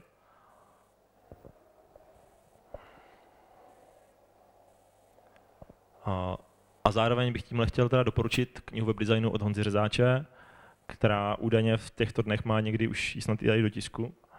A najdete ji na Twitteru pod hashtagem, teda pod tím účtem webdesign kniha. A myslím, že tam toho bude výrazně víc, protože on je na tohle rozhodně guru.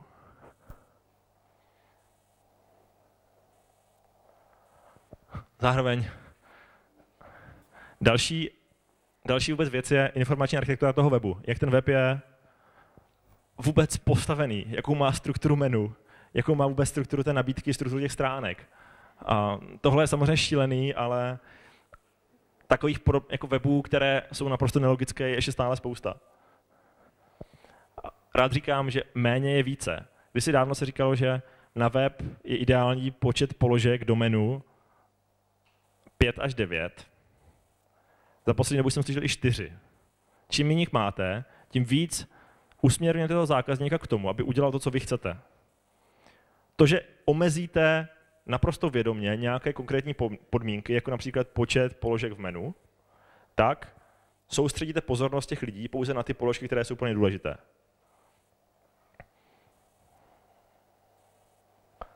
A tady bych rád ukázal naprosto krásný, krásnou ukázku toho, jak může vypadat design webu. Naprosto běžného webu, jakých vidíte spoustu, se spoustou rozcestníků, navigací, kalendáře, rezervací prostě a tak dále. Spousty, spousty věcí, které jsou velmi nepřehledné a zároveň naprosto matoucí pro, pro nás jako pro uživatele. Máme problém se v tom vyznat. A Luke Verblesky je člověk, který řeší strategii, která se říká mobile first, to znamená nejdřív udělíme návrh jako pro mobil a potom řešíme cokoliv dalšího. A na rozdíl od klasické webové stránky, která má relativně velké rozlišení, tím pádem si tam můžete dovolit jako plítvat místem a takýma věcma jako nějaká slideshow a tak dál, tak ten mobil má řádově šestinovou až osminovou velikost. Šestinová velikost je pro vás omezení toho, co vy si můžete dovolit dát na jednu obrazovku mobilu tak, aby to pro toho člověka dávalo smysl. Zároveň vás to nutí prioritizovat obsah a to, co je pro vás opravdu důležitý. V tomto případě, když jsme se to podívali, tak asi důležité je vybrat si, nebo respektive možnost vybrat si, od kdy, kdy, kdy chceme kam letět, pak nejspíš věci typu třeba auto, ubytování v té dané cílové destinaci, pokud jsou to nějaké aerolinky, a potom třeba případně nějaký průvodce. A potom třeba kontakt. Každopádně to, že takovou webovou stránku vezmete a uděláte jí návrh pro mobil, nebo vaši stránku vezmete a představíte si, co by bylo na to jedné jediné mobilní stránce, kterou byste měli ukázat těm lidem. Tak je to strašně zajímavá věc, proto abyste dokázali říct, co je to důležité, co opravdu chcete říct. A všechno to ostatní je balast. Ještě existuje dobrá věc, která říká, pak, když něco má méně jak 7% používanost, tak to vyhoďte.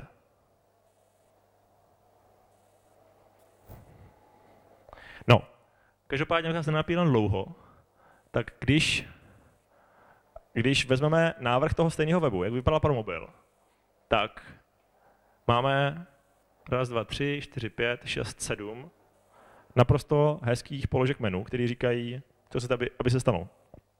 Je to čistý, přehledný, jednoduchý. Předpokládám, že vy jako uživatelé i já bychom si dokázali vybrat, co tam chceme udělat. Všechno ostatní, co je méně jak třeba 20% toho, co potřebujeme na tom webu řešit, tak se skrývá pod položkou více. A následně on tady z tohoto vytvořil design zpátky pro tu webovou stránku, která vypadá takto. Toto neznamená, že vy musíte vytvářet web pro mobil. Je to jenom způsob, jakým dokážete ve firmě prioritizovat informace, vyhazovat nepotřebný balast, říkat, co je důležité a co má být na titulní stránce, nebo má být kdekoliv jinde, prostě na nějaké stránce, a co je to, co klíčově potřebujeme, aby ten zákazník nebo návštěvník webu viděl. To znamená, tady zbyde prostě, zabukujme si let, zabukujme si ho, nebo check online, kontrola stavu letu a změna nějakého letu. A všechno ostatní jsou relativně podružné informace. Toto, když řešíme mobil, design pro mobil, je geniální způsob, jak vy dokážete řešit minimalismus v obsahu a dejme tomu i v nějakém designu. Prostě nechat tam to nejdůležitější. Většina lidí má problém vyhazovat přebytečné věci. Grafici a designéři jsou, je to pro ně denní chleba, prostě abyste udělali dobré logo, tak musíte vyhazovat. Na to, abyste udělali dobrý design, čistý design, tak musíte vyhazovat. A v tom webu, ale tím, že máte velkou plochu, tak vás to jakže tak jako trošku nutí, aby ta plocha byla plná. Není to vůbec pravda. Může k ní zůstat bílá, může zůstat čistá, nebo v ní může být toho designu relativně málo. Když se vezmeme zpátky vůbec k autopůjčovně, kterou jsme tak trošku přeskočili, tak zaprvé víme, že v pyramidě chceme jít minimálně hodně nahoru, a za druhé víme, jakým způsobem zhruba bude vypadat nějaká struktura toho webu. A toto je už jenom grafické znázornění toho, co my na ten web potřebujeme dát v souvislosti s tím, co jsme řešili ohledně uživatelů, ohledně jaké jsou naše potřeby, co jim potřebujeme říct a tak dále.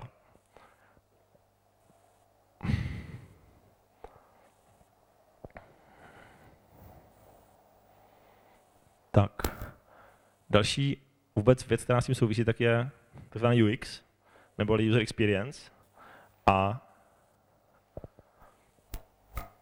vůbec, když se napodíváme na web z pohledu UX, tak nás zajímá především, aby jsme poznali firmu, aby jsme poznali ty persony, ty konkrétní uživatele, kteří používají ten web. Je to pro obchod s dětmi matka na mateřské, je to pro bioobchod někdo, kdo, komu je 25 až 45, zajímá se o moderní trendy, zdravý životní styl a čte časopisy ekologie a, a zdravá strava. Tohle je to, co nás zajímá u konkrétní persony. Kdybyste se mě zeptali na to, jaký je konkrétní, jaká je konkrétní persona pro třeba náš firmní web, tak to vím taky. Cíle a metriky podle obchodních a uživatelských cílů. To znamená, jak vůbec měříme to, že ty lidi udělají to, co, to, co udělají. Co můžeme změřit na webu a co musíme změřit nějak jinak. To znamená došlé e-maily, zvedné telefony a tak dále. Co vůbec jsme schopni jako měřit a jak to vůbec budeme měřit. Testování a analýza toho webu, to znamená návrh webu minimálně třeba ve stádiu nějakého drátěného modelu, tak abyste se podívali na to, že komukoliv dáte ten web, aby udělal to, co má udělat. V dnešní době je prima testovat web na někom, kdo není příliš počítačově zdatný. A když, já vám to ještě popíšu, když já jsem potřeboval občas formulovat nějaké teorie nebo něco, co, co potřebuji jako říct, tak jsem měl vyzkoušené to, že to funguje, když to chci říct svojí babičce. Když se prostě naučím, že složité věci jako design a logo a strategie jsem schopný vysvětlit babičce, které bylo 85 a která v podstatě to brala už jako velmi zjednodušeně. Vůbec nevěděla, co to počítač, vůbec nevěděla moc o tom, co je to logo a co je to nějaká strategie, ale na tom, že je někdo, kdo prostě to vnímá velmi zjednodušeně, si dokážete vyzkoušet říkat věci velmi zjednodušeně. Když byste vzali někoho, kdo neumí příliš s počítačem, tak na něm přesně uvidíte to, jakým způsobem on uvažuje nad tím webem a jestli je pro ně dostatečně jednoduchý. Pokud nebude, tak to znamená, že jste vy udělali špatnou práci. To, že si sami nastavíte tvrdé podmínky, znamená, že máte šanci uspět. A pak samozřejmě další věci jsou iterace, to znamená to, jakým způsobem řešíme případné změny. Třeba změny drobností, typu místo tlačítka červeného dáme zelené. To jsou věci, které můžou mít v rámci UX radikální dopady na to, jakým způsobem ta stránka pro vás vydělává nebo ne. To jsou desítky příkladů, já se to nechci úplně pouštět. Ale každopádně jako změny v rámci UX, jenom třeba přepsání tlačítka, změna barva tlačítka, zmenšení počet polí ve formuláři, přidání jednoho konkrétního pole formuláře. To, jestli se pole jmenuje nabídka nebo nezávazná nabídka. To jsou věci, které rozhodují o tom, jestli člověk má nebo nemá šanci na to klikat. A jestli udělá to, co vy chcete, aby udělal. To znamená, že ve chvíli vy máte web už v nějaké fázi, ať už v nějakém prototypu, nebo pak už běžící, tak v podstatě uh, můžete řešit i to, jakým způsobem ho vylepšit ještě dál. Spokojený uživatel na webu je ten, který má pocit, že kontroluje to, kam došel, že ví, kam postupuje a nějak se vyvíjí v rámci toho webu. A že mu to celý ten web jako ta služba dává smysl. A že potenciálně splníme to, co to očekávání, s kterým on přišel, když ten web našel. Z tohohle pohledu nemá smysl dělat weby jako různé farmy na klíčová slova, protože ten člověk na ten web přijde, podívá se tam, zjistil, že sice ho to tam něco dovedlo, ale vy jste ho něčím zlákali a on se tam nelíbí, se mu tam nelíbí, prostě stejně tam nic nenašel a zase jde pryč. A hlavně na konci stalo se mu něco, co nečekal. Ať už třeba najde zajímavé informace o vás, nebo najde dobrou cenu, nebo dobrou nabídku, anebo prostě udělá něco, co ho nějakým způsobem potěší. Velmi často jsou to dneska ve formě nejrůznějších třeba newslet, uh, takhle, nejrůznějších třeba dokumentů ke stažení, různých prostě brožurek, typů zdarma, um, videonávody a tak dále. To jsou všechno věci, které prostě ten člověk třeba může po cestě objevit. Tak. No a my už jsme se vlastně dostali k, ta, k tomu, že tady to jsme v podstatě relativně vyřešili. A v rámci dobré autopůjčovny máme design. Pokud je to menší web, tak tyhle kroky, které řešíme předtím, vlastně v podstatě ten klient ani nemusel vidět. Nebo respektive viděli až třeba do fáze té strategie a do fáze toho, že víme, jakým způsobem, co očekává od jejich uživatelů, ale konkrétním způsobem, jakým to bude vypadat, už neviděl. Toto je titulní strana, ale cílem titulní strany opět je jenom prostě rozcestnit někam dál. Představa všech lidí, nebo většiny lidí je ta, že web je především o titulní straně.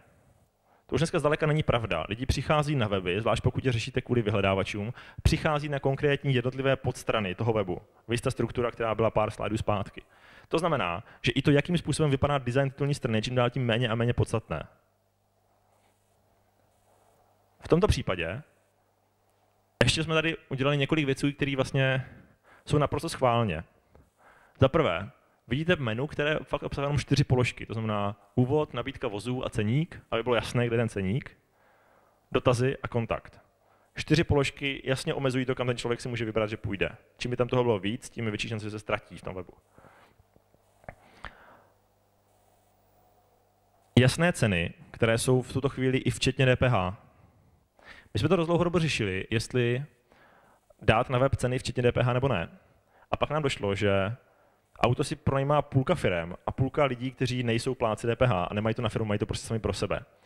A mě třeba osobně vždycky strašně naštve, když jdu na nějaký e-shop s elektronikou a když bychom nebyli pláci DPH, tak tam jsou ceny prostě bez DPH, a si to musíte připočítat 20% nahoru. To znamená, ta, ta věc pro vás reálně vyjde o 20% ví, jako dráž.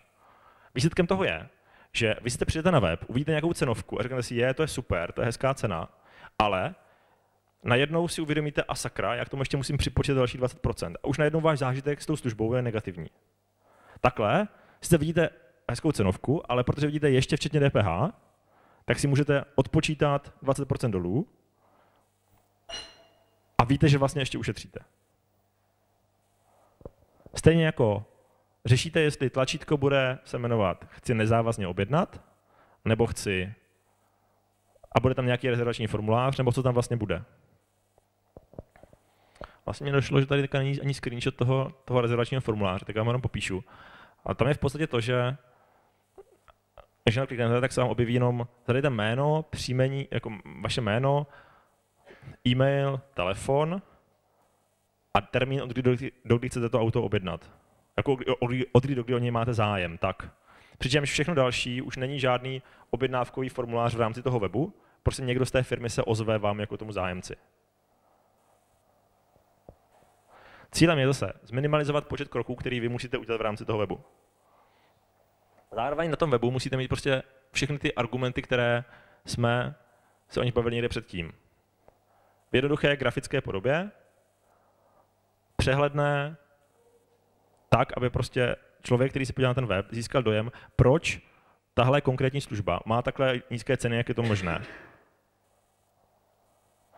V tuto chvíli už paradoxně s nimi nebyla ani příliš debata o to, jaký to má design. Jo, ta debata se bere o, tom, o těch argumentech, co má vyšší prioritu, případně co potřebujeme, aby bylo víc vidět. Na titulní stránce potřebujeme, aby prostě bylo vidět to, že je to levné a že máme konkrétní cenovou nabídku. Pak samozřejmě nějaký detail nějakého vozu, kde to konkrétní tlačítko je tak vysoko, že si ho vlastně ten člověk musí všimnout a kdyby si jel ještě dolů pod konkrétní ty technické parametry toho auta, tak tam je to tlačítko znova. Jo, je tam prostě víckrát, ale to nevadí. A zároveň důležitá věc, a velké telefonní číslo na každé stránce nahoře. A potom už jenom velký kontakt. Později nepotřebujete mno, kolikrát mnohem jako nic víc než tohle. Jo? A samozřejmě nějaké věci typu fakturační údaje a telefon, který prostě potřebujete.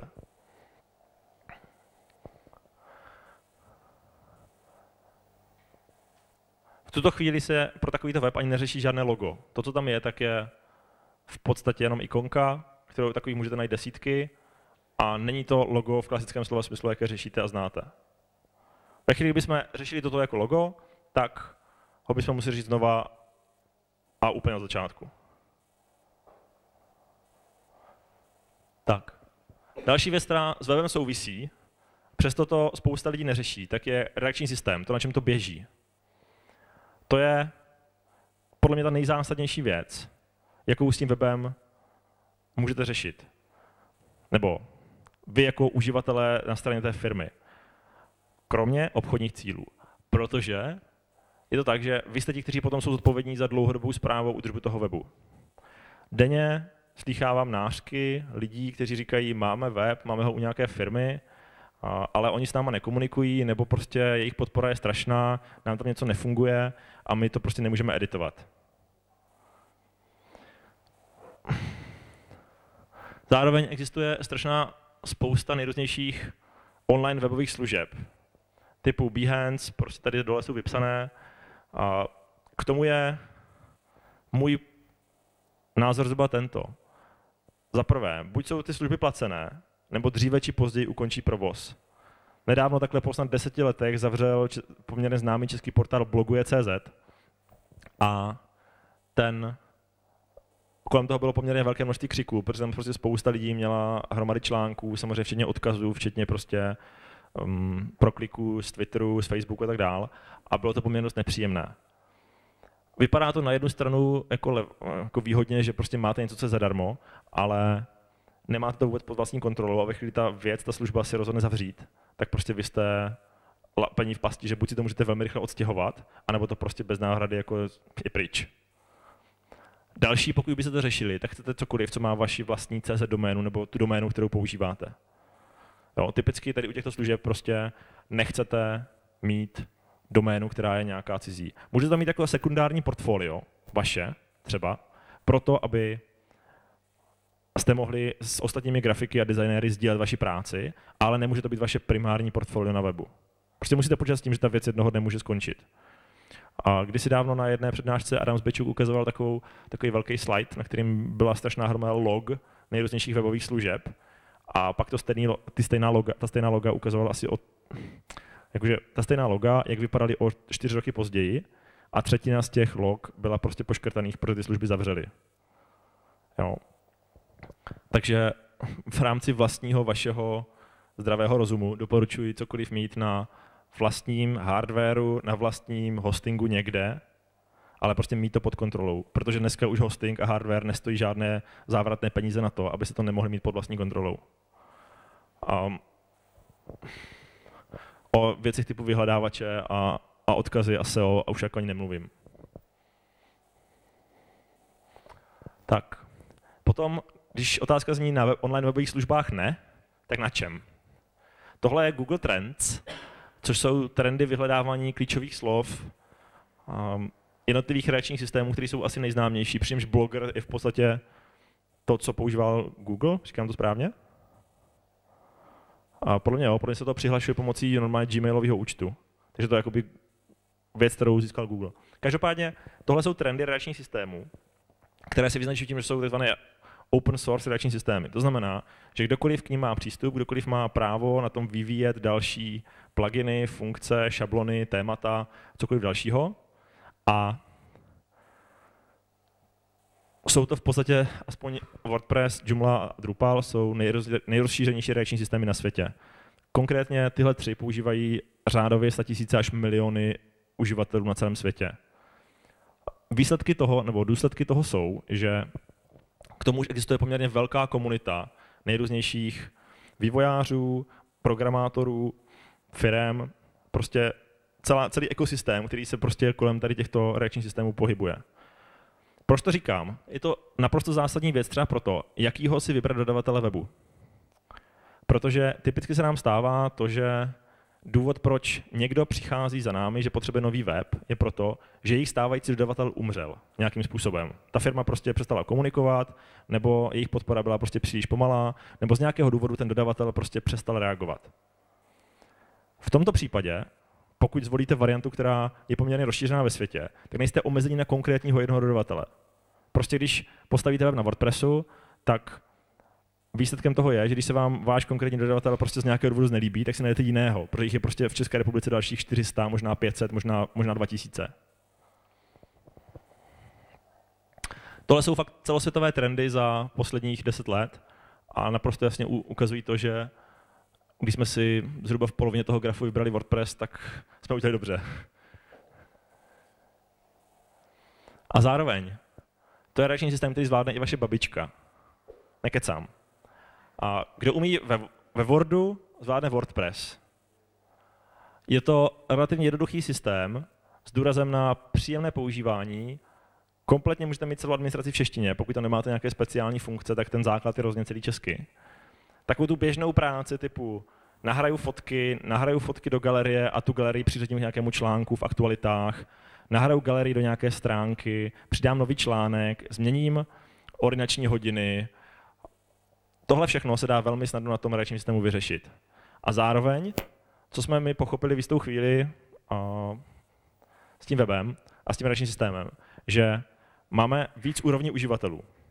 Protože ve chvíli, kdy jsme komukoliv dali jako super admin přístup k tomu webu, tak oni vlastně nakonec byli strašně zmatení z toho, že mají prostě takhle plný levý menu nějakých položek a že více jim to nedává smysl a neví, co z toho mají dělat. Takže jsme jim to velmi omezili. A dneska je level admin a level normální uživatel, který prostě může editovat stránky, editovat příspěvky, ale vidí toho v řádově třetinu. Takhle vypadá jenom pro vaši informaci teda už starší verze, ale toho reakčního systému, v tom omezeném režimu. To znamená, když chcete vytvořit nový příspěvek, tak prostě zdáte jeho název, potom semka jak ve Wordu, v podstatě vložíte normální text. Je to úplně normální editor jak ve Wordu. Musíte si vybrat, do jaké rubriky ho zařadíte, ale to je prostě proto, že to je příspěvek. A to na tom webu máte nastavené většinou jednou a natrvalo. A pak to dáte publikovat. Přičemž ještě další věc, co jsme udělali, v tom formátování, ve Wordu je spousta takových těch různých variant, jako tučné písmo, poškrtnuté písmo, zelené písmo, na střed, doprava, doleva a tak dále. My jsme zjistili, že čím víc toto necháme otevřené, čím víc to necháme jako na uživatelích, aby si to udělali sami, tak tím více stane to, že ten web po chvíli vypadá jak prostě barevná záplava. Protože různí uživatelé mají snahu prostě věci dávat na střed, zvýrazňovat zelenou, zvýrazňovat prostě různýma barvama a když jim to zakážete, tak jim zůstanou jenom ty stejné styly, co mají v, tom, v té šabloně toho WordPressu. Takže když jim to zakážete, tak oni ve finále vytvoří hezčí web, než jim to nezakážete. Jo, normálně by tady prostě ještě bylo dalších milion dalších položek, ale teďka tam nejsou. A zároveň je to velmi prima technické řešení pro váš web. Fakt tisíce doplňků, pluginů, prostě věcí, které se dají klidně i zdarma stáhnout. A musí se implementovat, nebo se nějakým způsobem musí zanořit do toho webu, ale prostě jsou tam. A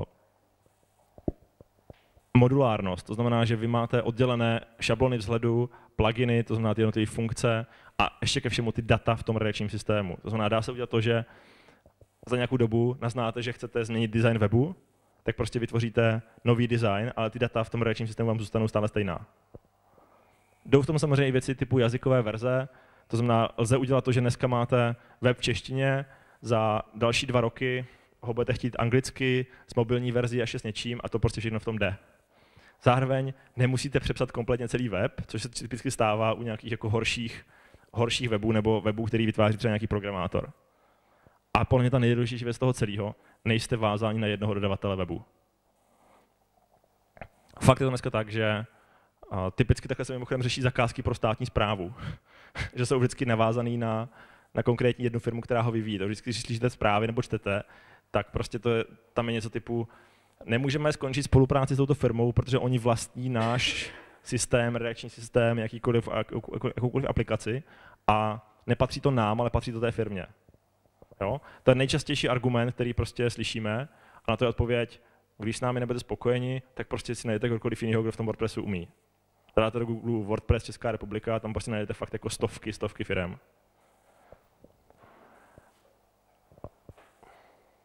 Tak, a už se blížíme ke konci. A zároveň to, co nás zajímá k tomu webu, tak je vůbec, jakým způsobem se na ten web ty lidi dostanou.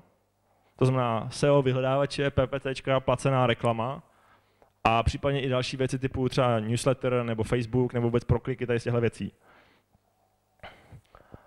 Říká se tomu marketing zaměřený na výkon nebo taky výkonnostní marketing. A to, že vás lidi najdou na správná klíčová slova a že máte definovatelnou a měřitelnou strategii pro ten web. To zdaleka neznamená, že budete na první pozici na nějaké klíčové slovo, ani to neznamená, že budete na první pozici v Google na nějaké konkrétní slovo. To znamená to, že někdo vytvořil strategii pro to, v jakých okolností se vám to vyplatí. Jo, nemusíte zdaleka být prostě na prvním místě. Nebo nemusíte být na prvním místě na to klíčové slovo, které si určí pan šéf nebo někdo z vašeho marketingu. Důležité je, aby člověk, který řeší tyhle konkrétní věci, měl na mysli to, že vy musíte generovat zisk. To znamená, aby se vám vyplatilo zaplatit třeba 10-15 korun za proklik z Google nebo ze seznamu a za jakých podmínek se vám to vyplatí. Zároveň neznamená to, že když vám se vyplatí 10 korun, takže komukoliv v jiném biznesu se vyplatí taky 10 korun. To vůbec není pravda. A zároveň si musíte dávat bacha na to, co děláte s nejrůznějšíma věcma, typu SEO, protože takovéhle věci fakt fungovat nebudou.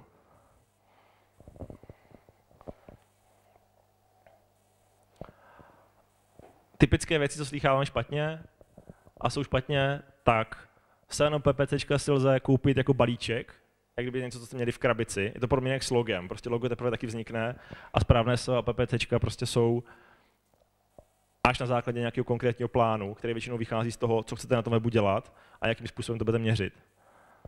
Uh, u SEA je přesvědčení toho, že to bude fungovat jako jednorázově, že nám takzvaně nasoujete balíček, nebo nasoujete web tak, a nebo že to zkusíme na nějakou velmi krátkou dobu a pak rozhodneme.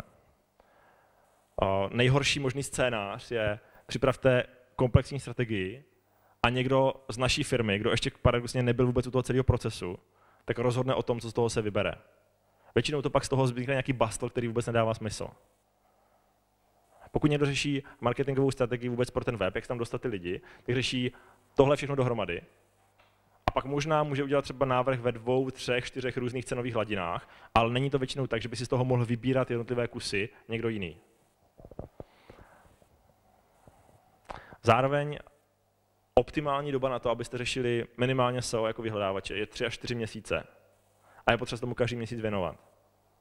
To znamená, máte člověka, který prostě tomu webu dlouhodobě věnuje nějakou práci a v tu chvíli to má smysl. Jednorázové věci, jednorázové balíčky úplně nefungují. Jednorázově může fungovat PPC, ty můžou fungovat jako krátkodobě. A říká se, že PPC jsou takzvaně SEO pro líné. Kdo líné dělat SEO, tak dělá PPC. A, a vaším dlouhodobým cílem je snížit cenu za PPC a zvýšit to, kolik vám přináší normální vyhledávače. A pak potom už jenom měříme, měříme, měříme. Bude to znít paradoxně, ale prostě je fakt to důležitý. No, a ještě teda vezmeme zpátky dobrou autopůjčovnu, tak jenom krátký zhrnutí. Analýza klíčových slov se zaměření na lokální dotazy, to znamená, řešíme Brno, všechno teda bylo na Brno, návrh struktury a obsahu webu, to znamená vůbec to, jak bude vypadat ta struktura a co bude kde napsané.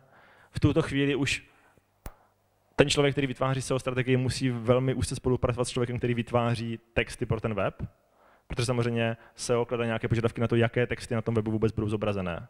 To je jako spousta věcí, které se musí prolínat dohromady. A, a paradoxně dlouhodobé budování zpětných odkazů, to znamená věci, které vedou třeba z nějakých jiných článků nebo tematických webů na váš konkrétní web. Jo. A výsledky. Když neřešíte web jednorázově a řešíte web v dlouhodobém režimu, tak dneska dobrá autopučovna jede už 6 měsíců, na konci března to bude 6 měsíců. Během, je to v podstatě projekt na nové zelené louce, ta doména neexistovala, byla úplně nová, čistá a z nuly během pěti měsíců se dá dostat na přední příčky v Google se stejně soupeřícíma nebo konkurenčníma firmama. Za více jak za dva měsíce od toho spuštění toho webu už dokáže SEO přinášet víc poptávek, víc konkrétních požadavků na tu firmu, aby půjčila nějaké vozy, než placená reklama. Tak, to je jenom statistiky a data pro to AdWords S-Click, abyste viděli, jak to může fungovat. Za 6 měsíců zhruba 200 000 zobrazení, asi 3,5 tisíce prokliků na ten web, to znamená 3,5 tisíce prokliků za 6 měsíců, jenom z PPCček, jenom z placené reklamy. To, co tady vidíte, tu díru, tak jsou Vánoce. Oni prostě neznají, že jsou hezký Vánoce a že nechcou půjčit auto o Vánocích, takže prostě zastavili PPCčka. I takové věci se s tím dají dělat. A jenom přibližná čísla, kolik lidí zhruba klikne na tu reklamu, když uvidí buď v AdWords, to znamená v Google, anebo v S-Clicku. Tohle jsou všechny věci, které vás zajímají v rámci toho webu. Pokud to neřešíte, tak nemusíte řešit jako vydělávající web, ale tohle jsou všechny věci, které jako my jsme řešili. Zároveň návštěvnost. Skoro 6 000 unikátní návštěv za 6 měsíců. Vidíte, jak to prostě postupně roste, úplně z nuly až skoro na 15 lidí za měsíc. Toto jsou data za březen, ale jsou to data jenom za, za tři týdny ze čtyř. Takže ještě očekávám, že to možná bude trošičku výš. Jo, a už jak vidíte prostě rozdělení na to, kolik je návštěvnost ze SEA, kolik je, kolik je PPCčka a kolik je to zbytek. Pokud měříte, tak tyhle data prostě máte. Je samozřejmě otázka, jak je interpretovat komukoliv dalšímu, ale prostě tohle se interpretuje mnohem líp, než to, že máme hezký web nebo hezký design. A hlavně, když myslíte na každý detail, tak se vám pak stane taková docela úsměvná věc. Když máte nějaký vyhledávač, který to prostě porovnává, zadáte tam autopučovna Brno, tak už v tom náhledu té stránky on zobrazí to velký, bohužel jsme nejlevnější. To znamená, ty lidi už rovnou sami vidí, co tam můžou čekat. Jo? Tady vidí možná auto, tady vidí nic, tady vidí auto, tady už nevidí nic, tady vidí akční letenky. Jo? A tam prostě vidí konkrétní text. Takže i s tím se dá pracovat. Je to prostě drobnost, ale i to vám může pomoct. No a hlavně, jak to vypadá s nějakou návratností takové investice? Když přijde firma a chce web podobného kalibru, tak má představu, že to nechá obvykle do 100 000 korun. Obvykle jsou ty jako představy ze začátku, když vůbec někdo přijde a řekne, chceme malý web, tak prostě ta představa může být jako i výrazně níž, může to být prostě 20, může to být 30, může to být 40, prostě jako číslo, který oni nemají problém dát, jakože aby se to zkusilo. Nicméně, za to postavíte sotva prázdnou krabici a ne funkční vydělávající web. Reálně cenovka za postavení takovéhohle webu se vším všudy, i s těma všema PPCčkama, práci těch lidí za 6 měsíců, je několika násobkem víc. Je to rozhodně přes 100 tisíc. Jako brutálně přes 100 tisíc v podstatě. Ale té firmě se to vyplácí. Jim chodí objednávky poměrně ve velké množství a zároveň to, co je nejlepší, co vás jako na tom těší nejvíc, je to, že klient vám zavolá a řekne, to je super, nám volají lidi, máme všechny auta půjčený. Výsledkem toho bylo, že my jsme plánovali, že spustíme expanzi do Prahy a na té se momentálně začalo pracovat, protože prostě ta poptávka je tak velká, že proč, to, proč by se to nemohli dovolit. Zároveň za 6 měsíců si jim ty peníze vrátili čtyřikrát zpátky. Připraví pobočku v Praze. To, že začali s náhradníma vozidlama, který půjčovali posledních možná 6-8 let, tak je dneska pouze okrajová část těch biznisu. To znamená, si dokážete představit to, jak za 6 měsíců, jenom díky novému webu a díky tady tomuhle celému ekosystému, dostanete to, že něco, co byl pro vás v podstatě jenom boční projekt, který jste chtěli jenom tak jako zkusit, tak najednou je pro vás možná 85% příjmů. A zároveň, že se tam točí poměrně pěkné peníze. Takže kromě toho, že to vydělává jim, tak oni jsou spokojení, protože jim ta firma roste.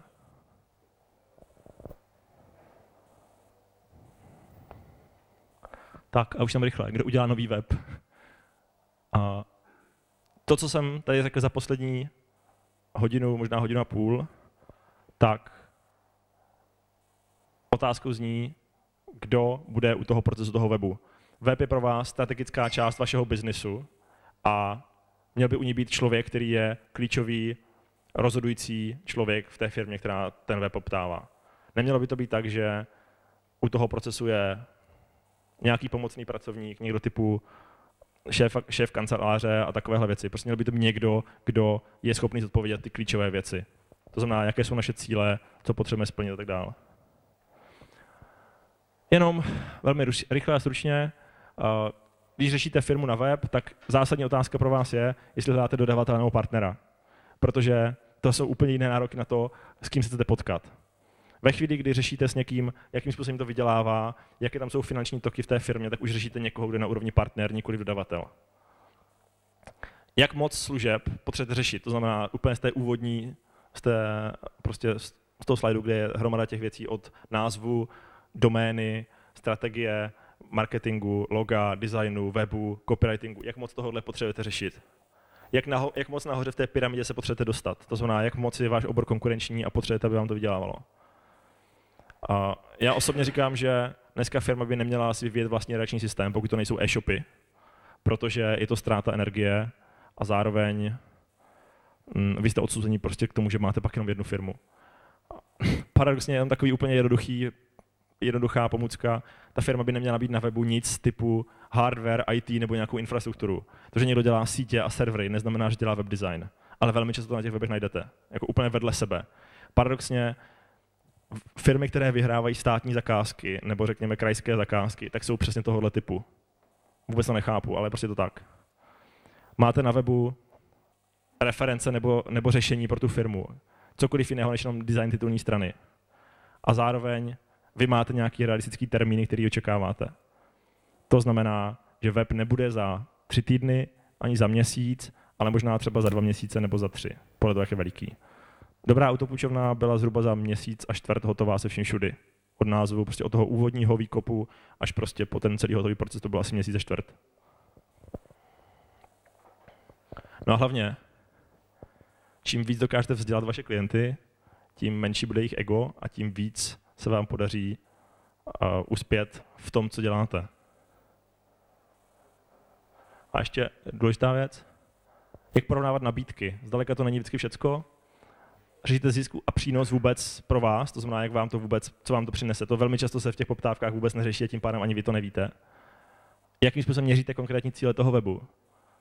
Jestli řešíte jenom kostru toho webu, to znamená reakční systém s nějakým šablonou a ten zbytek si naplníte sami, nebo za to odpovídá ten člověk, který vám ten web dodává. Já vám s tímhle řeknu vtipnou historku, že kdysi dávno jsme se uh, prostě nedomluvili s nějakou firmou, o tom, kdo to udělá. Nebylo to jasné. A my jsme potom kývli na to, že ano, my to uděláme. Akorát, že na tom webu bylo prostě poměrně velké množství jako textů, poměrně velké množství fotek do jednotlivých jako položek té nabídky a tím pádem jenom práce na každé jednotlivé straně zabrali asi dvě a půl hodiny. Řekněme, dvě a půl hodiny není moc práce, nicméně, když máte těch stranek 40, tak je to celkově 100 hodin práce navíc, o kterých jste se dopředu nemluvili, jestli zaplatí oni nebo ne. A kdo je vlastně udělá. Jo? I tohle je cena za ten web, jestli chcete celkové řešení nebo chcete nějakou jednotlivost. To znamená, chcete jenom kus reakčního systému, anebo jestli chcete prostě celý ten proces. Kdo vytvoří tohle všechno, to znamená obsah, název na doménu a tak dál. To, jestli vůbec řešíme uživatelský výzkum, vůbec zadání pro ten web, anebo je to prostě jenom nahodilé, tak to někdo udělejte, ať to nějak je. A nejdůležitější informace k tomu celému, hodinová sazba, která tam často jako je, nebo někdo ji chce, tak nevypovídá vůbec nic. To je jenom o tom spíš, jakou ligu hraje ta firma nebo to studio. Jo? Jakou úroveň kvality můžete čekat. No a hlavně, chtějte vědět pravdu a ne keci. Protože to je asi to nejdůležitější, co z toho všeho můžete si odnést, že prostě chcete vědět konkrétní plány, vize, rozpočty, věci. To je všechno. Díky.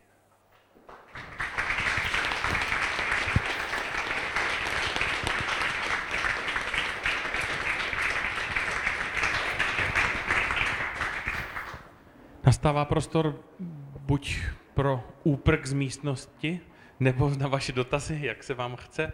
Máte-li nějakou otázku, tak zvedněte ruku, já vám počím mikrofon.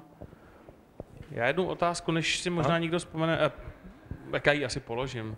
Eh, jak k tomu webu má přistoupit začínající podnikatel nebo dokonce začínají, nebo student, který si chce založit uh, portfolio, protože to, co si popisoval, uh, bylo poměrně drahé, poměrně náročné mhm. a nejsem si jistý, jestli student bude mít v kapse násobky tisíců, aby si pořídil web, který mu okamžitě začne vydělávat.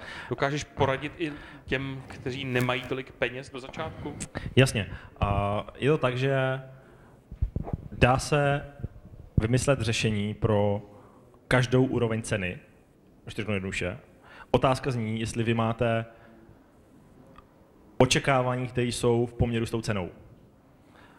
Za předpokladu, že máte malý rozpočet, dá se vyřešit malý prezentační webík za přijatelné peníze i pro studenta nebo někoho tohle typu. Prostě si na to musí najít člověka, který je jednotlivec, který mu dokáže buď nasadit WordPress nebo třeba pomoct nějakou šablonou. On si to bude možná designovat sám, nebo mu to může prostě někdo s tím pomoct. Jako ty možnosti jsou. A ta otázka ještě možná je o tom, jestli, jak si vůbec člověk, který zadává takovýto web, představuje ten proces, k čemu to bude. Protože to, kdybyste měli web, tak je to pěkný, ale když tam budete nahrávat fotky, nebo nějaký, třeba nějaký portfolio, tak když se tam nikdo nedostane, tak k čemu vám to je? Vy musíte vytvořit nějaký další věc okolo toho webu, jak zbytku světa dát vědět, co děláte. Ať už to bude třeba skrz Facebook, nebo skrz newsletter, nebo prostě cokoliv dalšího. Jenom samotné portfolio na webu, když to řeknu jednoduše, tak jsou investované peníze, které se nevrátí žádným způsobem. Já musím i jako začínající designér, grafik, kdokoliv, přemýšlet nad tím, když mám web, jakým způsobem tam dostanu lidi a jakým způsobem jim předám to, co jim chci předat. Asi takhle, no, zatím v tuto chvíli. Mhm. Já mám úplně konkrétní dotaz eh, k úplně něčemu mm-hmm. jinému. Eh, byl to ten slide, kde jsi měl ty tři auta vedle sebe. Aha. Měl si tam srovnaný Superb, Oktávka, Aha. BMW X1. Aha. A tomu odpovídaly ty ceny, já nevím, 14 ano, okay. jo, jo, tisícovka a 2,5 no, tisíce, jo. něco takového. Eh, proč byly srovnaný tak, že ta nejlevnější byla uprostřed? Byl to záměr, nebo to bylo jenom maketa, nebo to bylo jako tohle, nějak, tohle, nějaký kalkul? Jo, tohle je reálná fotka z webu. Myslím si, že konkrétně to tak, že to nejdražší auto tam je proto, že zaprvé funguje jako cenová kotva, to znamená, vy vidíte i ten nejdražší model, a za druhé, protože uh, oni z té autopůjčovny ví, že nejčastěji se půjčují fakt normální české Škodovky a tím pádem uh, šlo o to, aby cena za normální Škodovku vypadala příjemněji než jako ve srovnání s nějakým dražším autem, ale zároveň, aby i dražší auto vypadalo, že má dobrou cenu. Takže, a to, proč je to jako, v, jaký, v jakém to pořadí, přiznám se, že to chvíli nevím, možná to souvisí i s tím, že mm, některé věci se tam přidávaly jako na poslední chvilku, takže jako nevím, toto fakt, jako, jakože konkrétně proč je první, druhé, třetí, že jakoby je prostřední cena, nejnižší cena, nejdražší cena, toto konkrétně nevím. A myslím si, jakože logické by asi bylo, aby byla jako nejdra, nejlevnější cenovka, prostřední, nejdražší, to by asi bylo jako, nejlevně, jako nej, nejrozumnější. Můžeme to přehodit. Díky za tip. Já jsem doufal, že mi řekneš něco jiného, že třeba doprostřed se lidi dívají první nebo mm. něco podobně. Hm. To asi ne, no. Chce mít někdo dotaz na Pavla ohledně webu? Já když tady budu pak ještě potom, tak cokoliv konzultace, tak dál nejsou problém. Takže nechcete-li veřejně, tak máte možnost po skončení, což je za pár vteřin, zeptat se osobně tady u skleničky vína nebo na baru si můžete vzít vodu. Pavle, děkuji, že jsi přijal naše pozvání a děkuji vám, že jste přišli a děkuji ještě jednou za to vyčerpávající eh, podání tématu nového webu. Díky, díky za pozvání.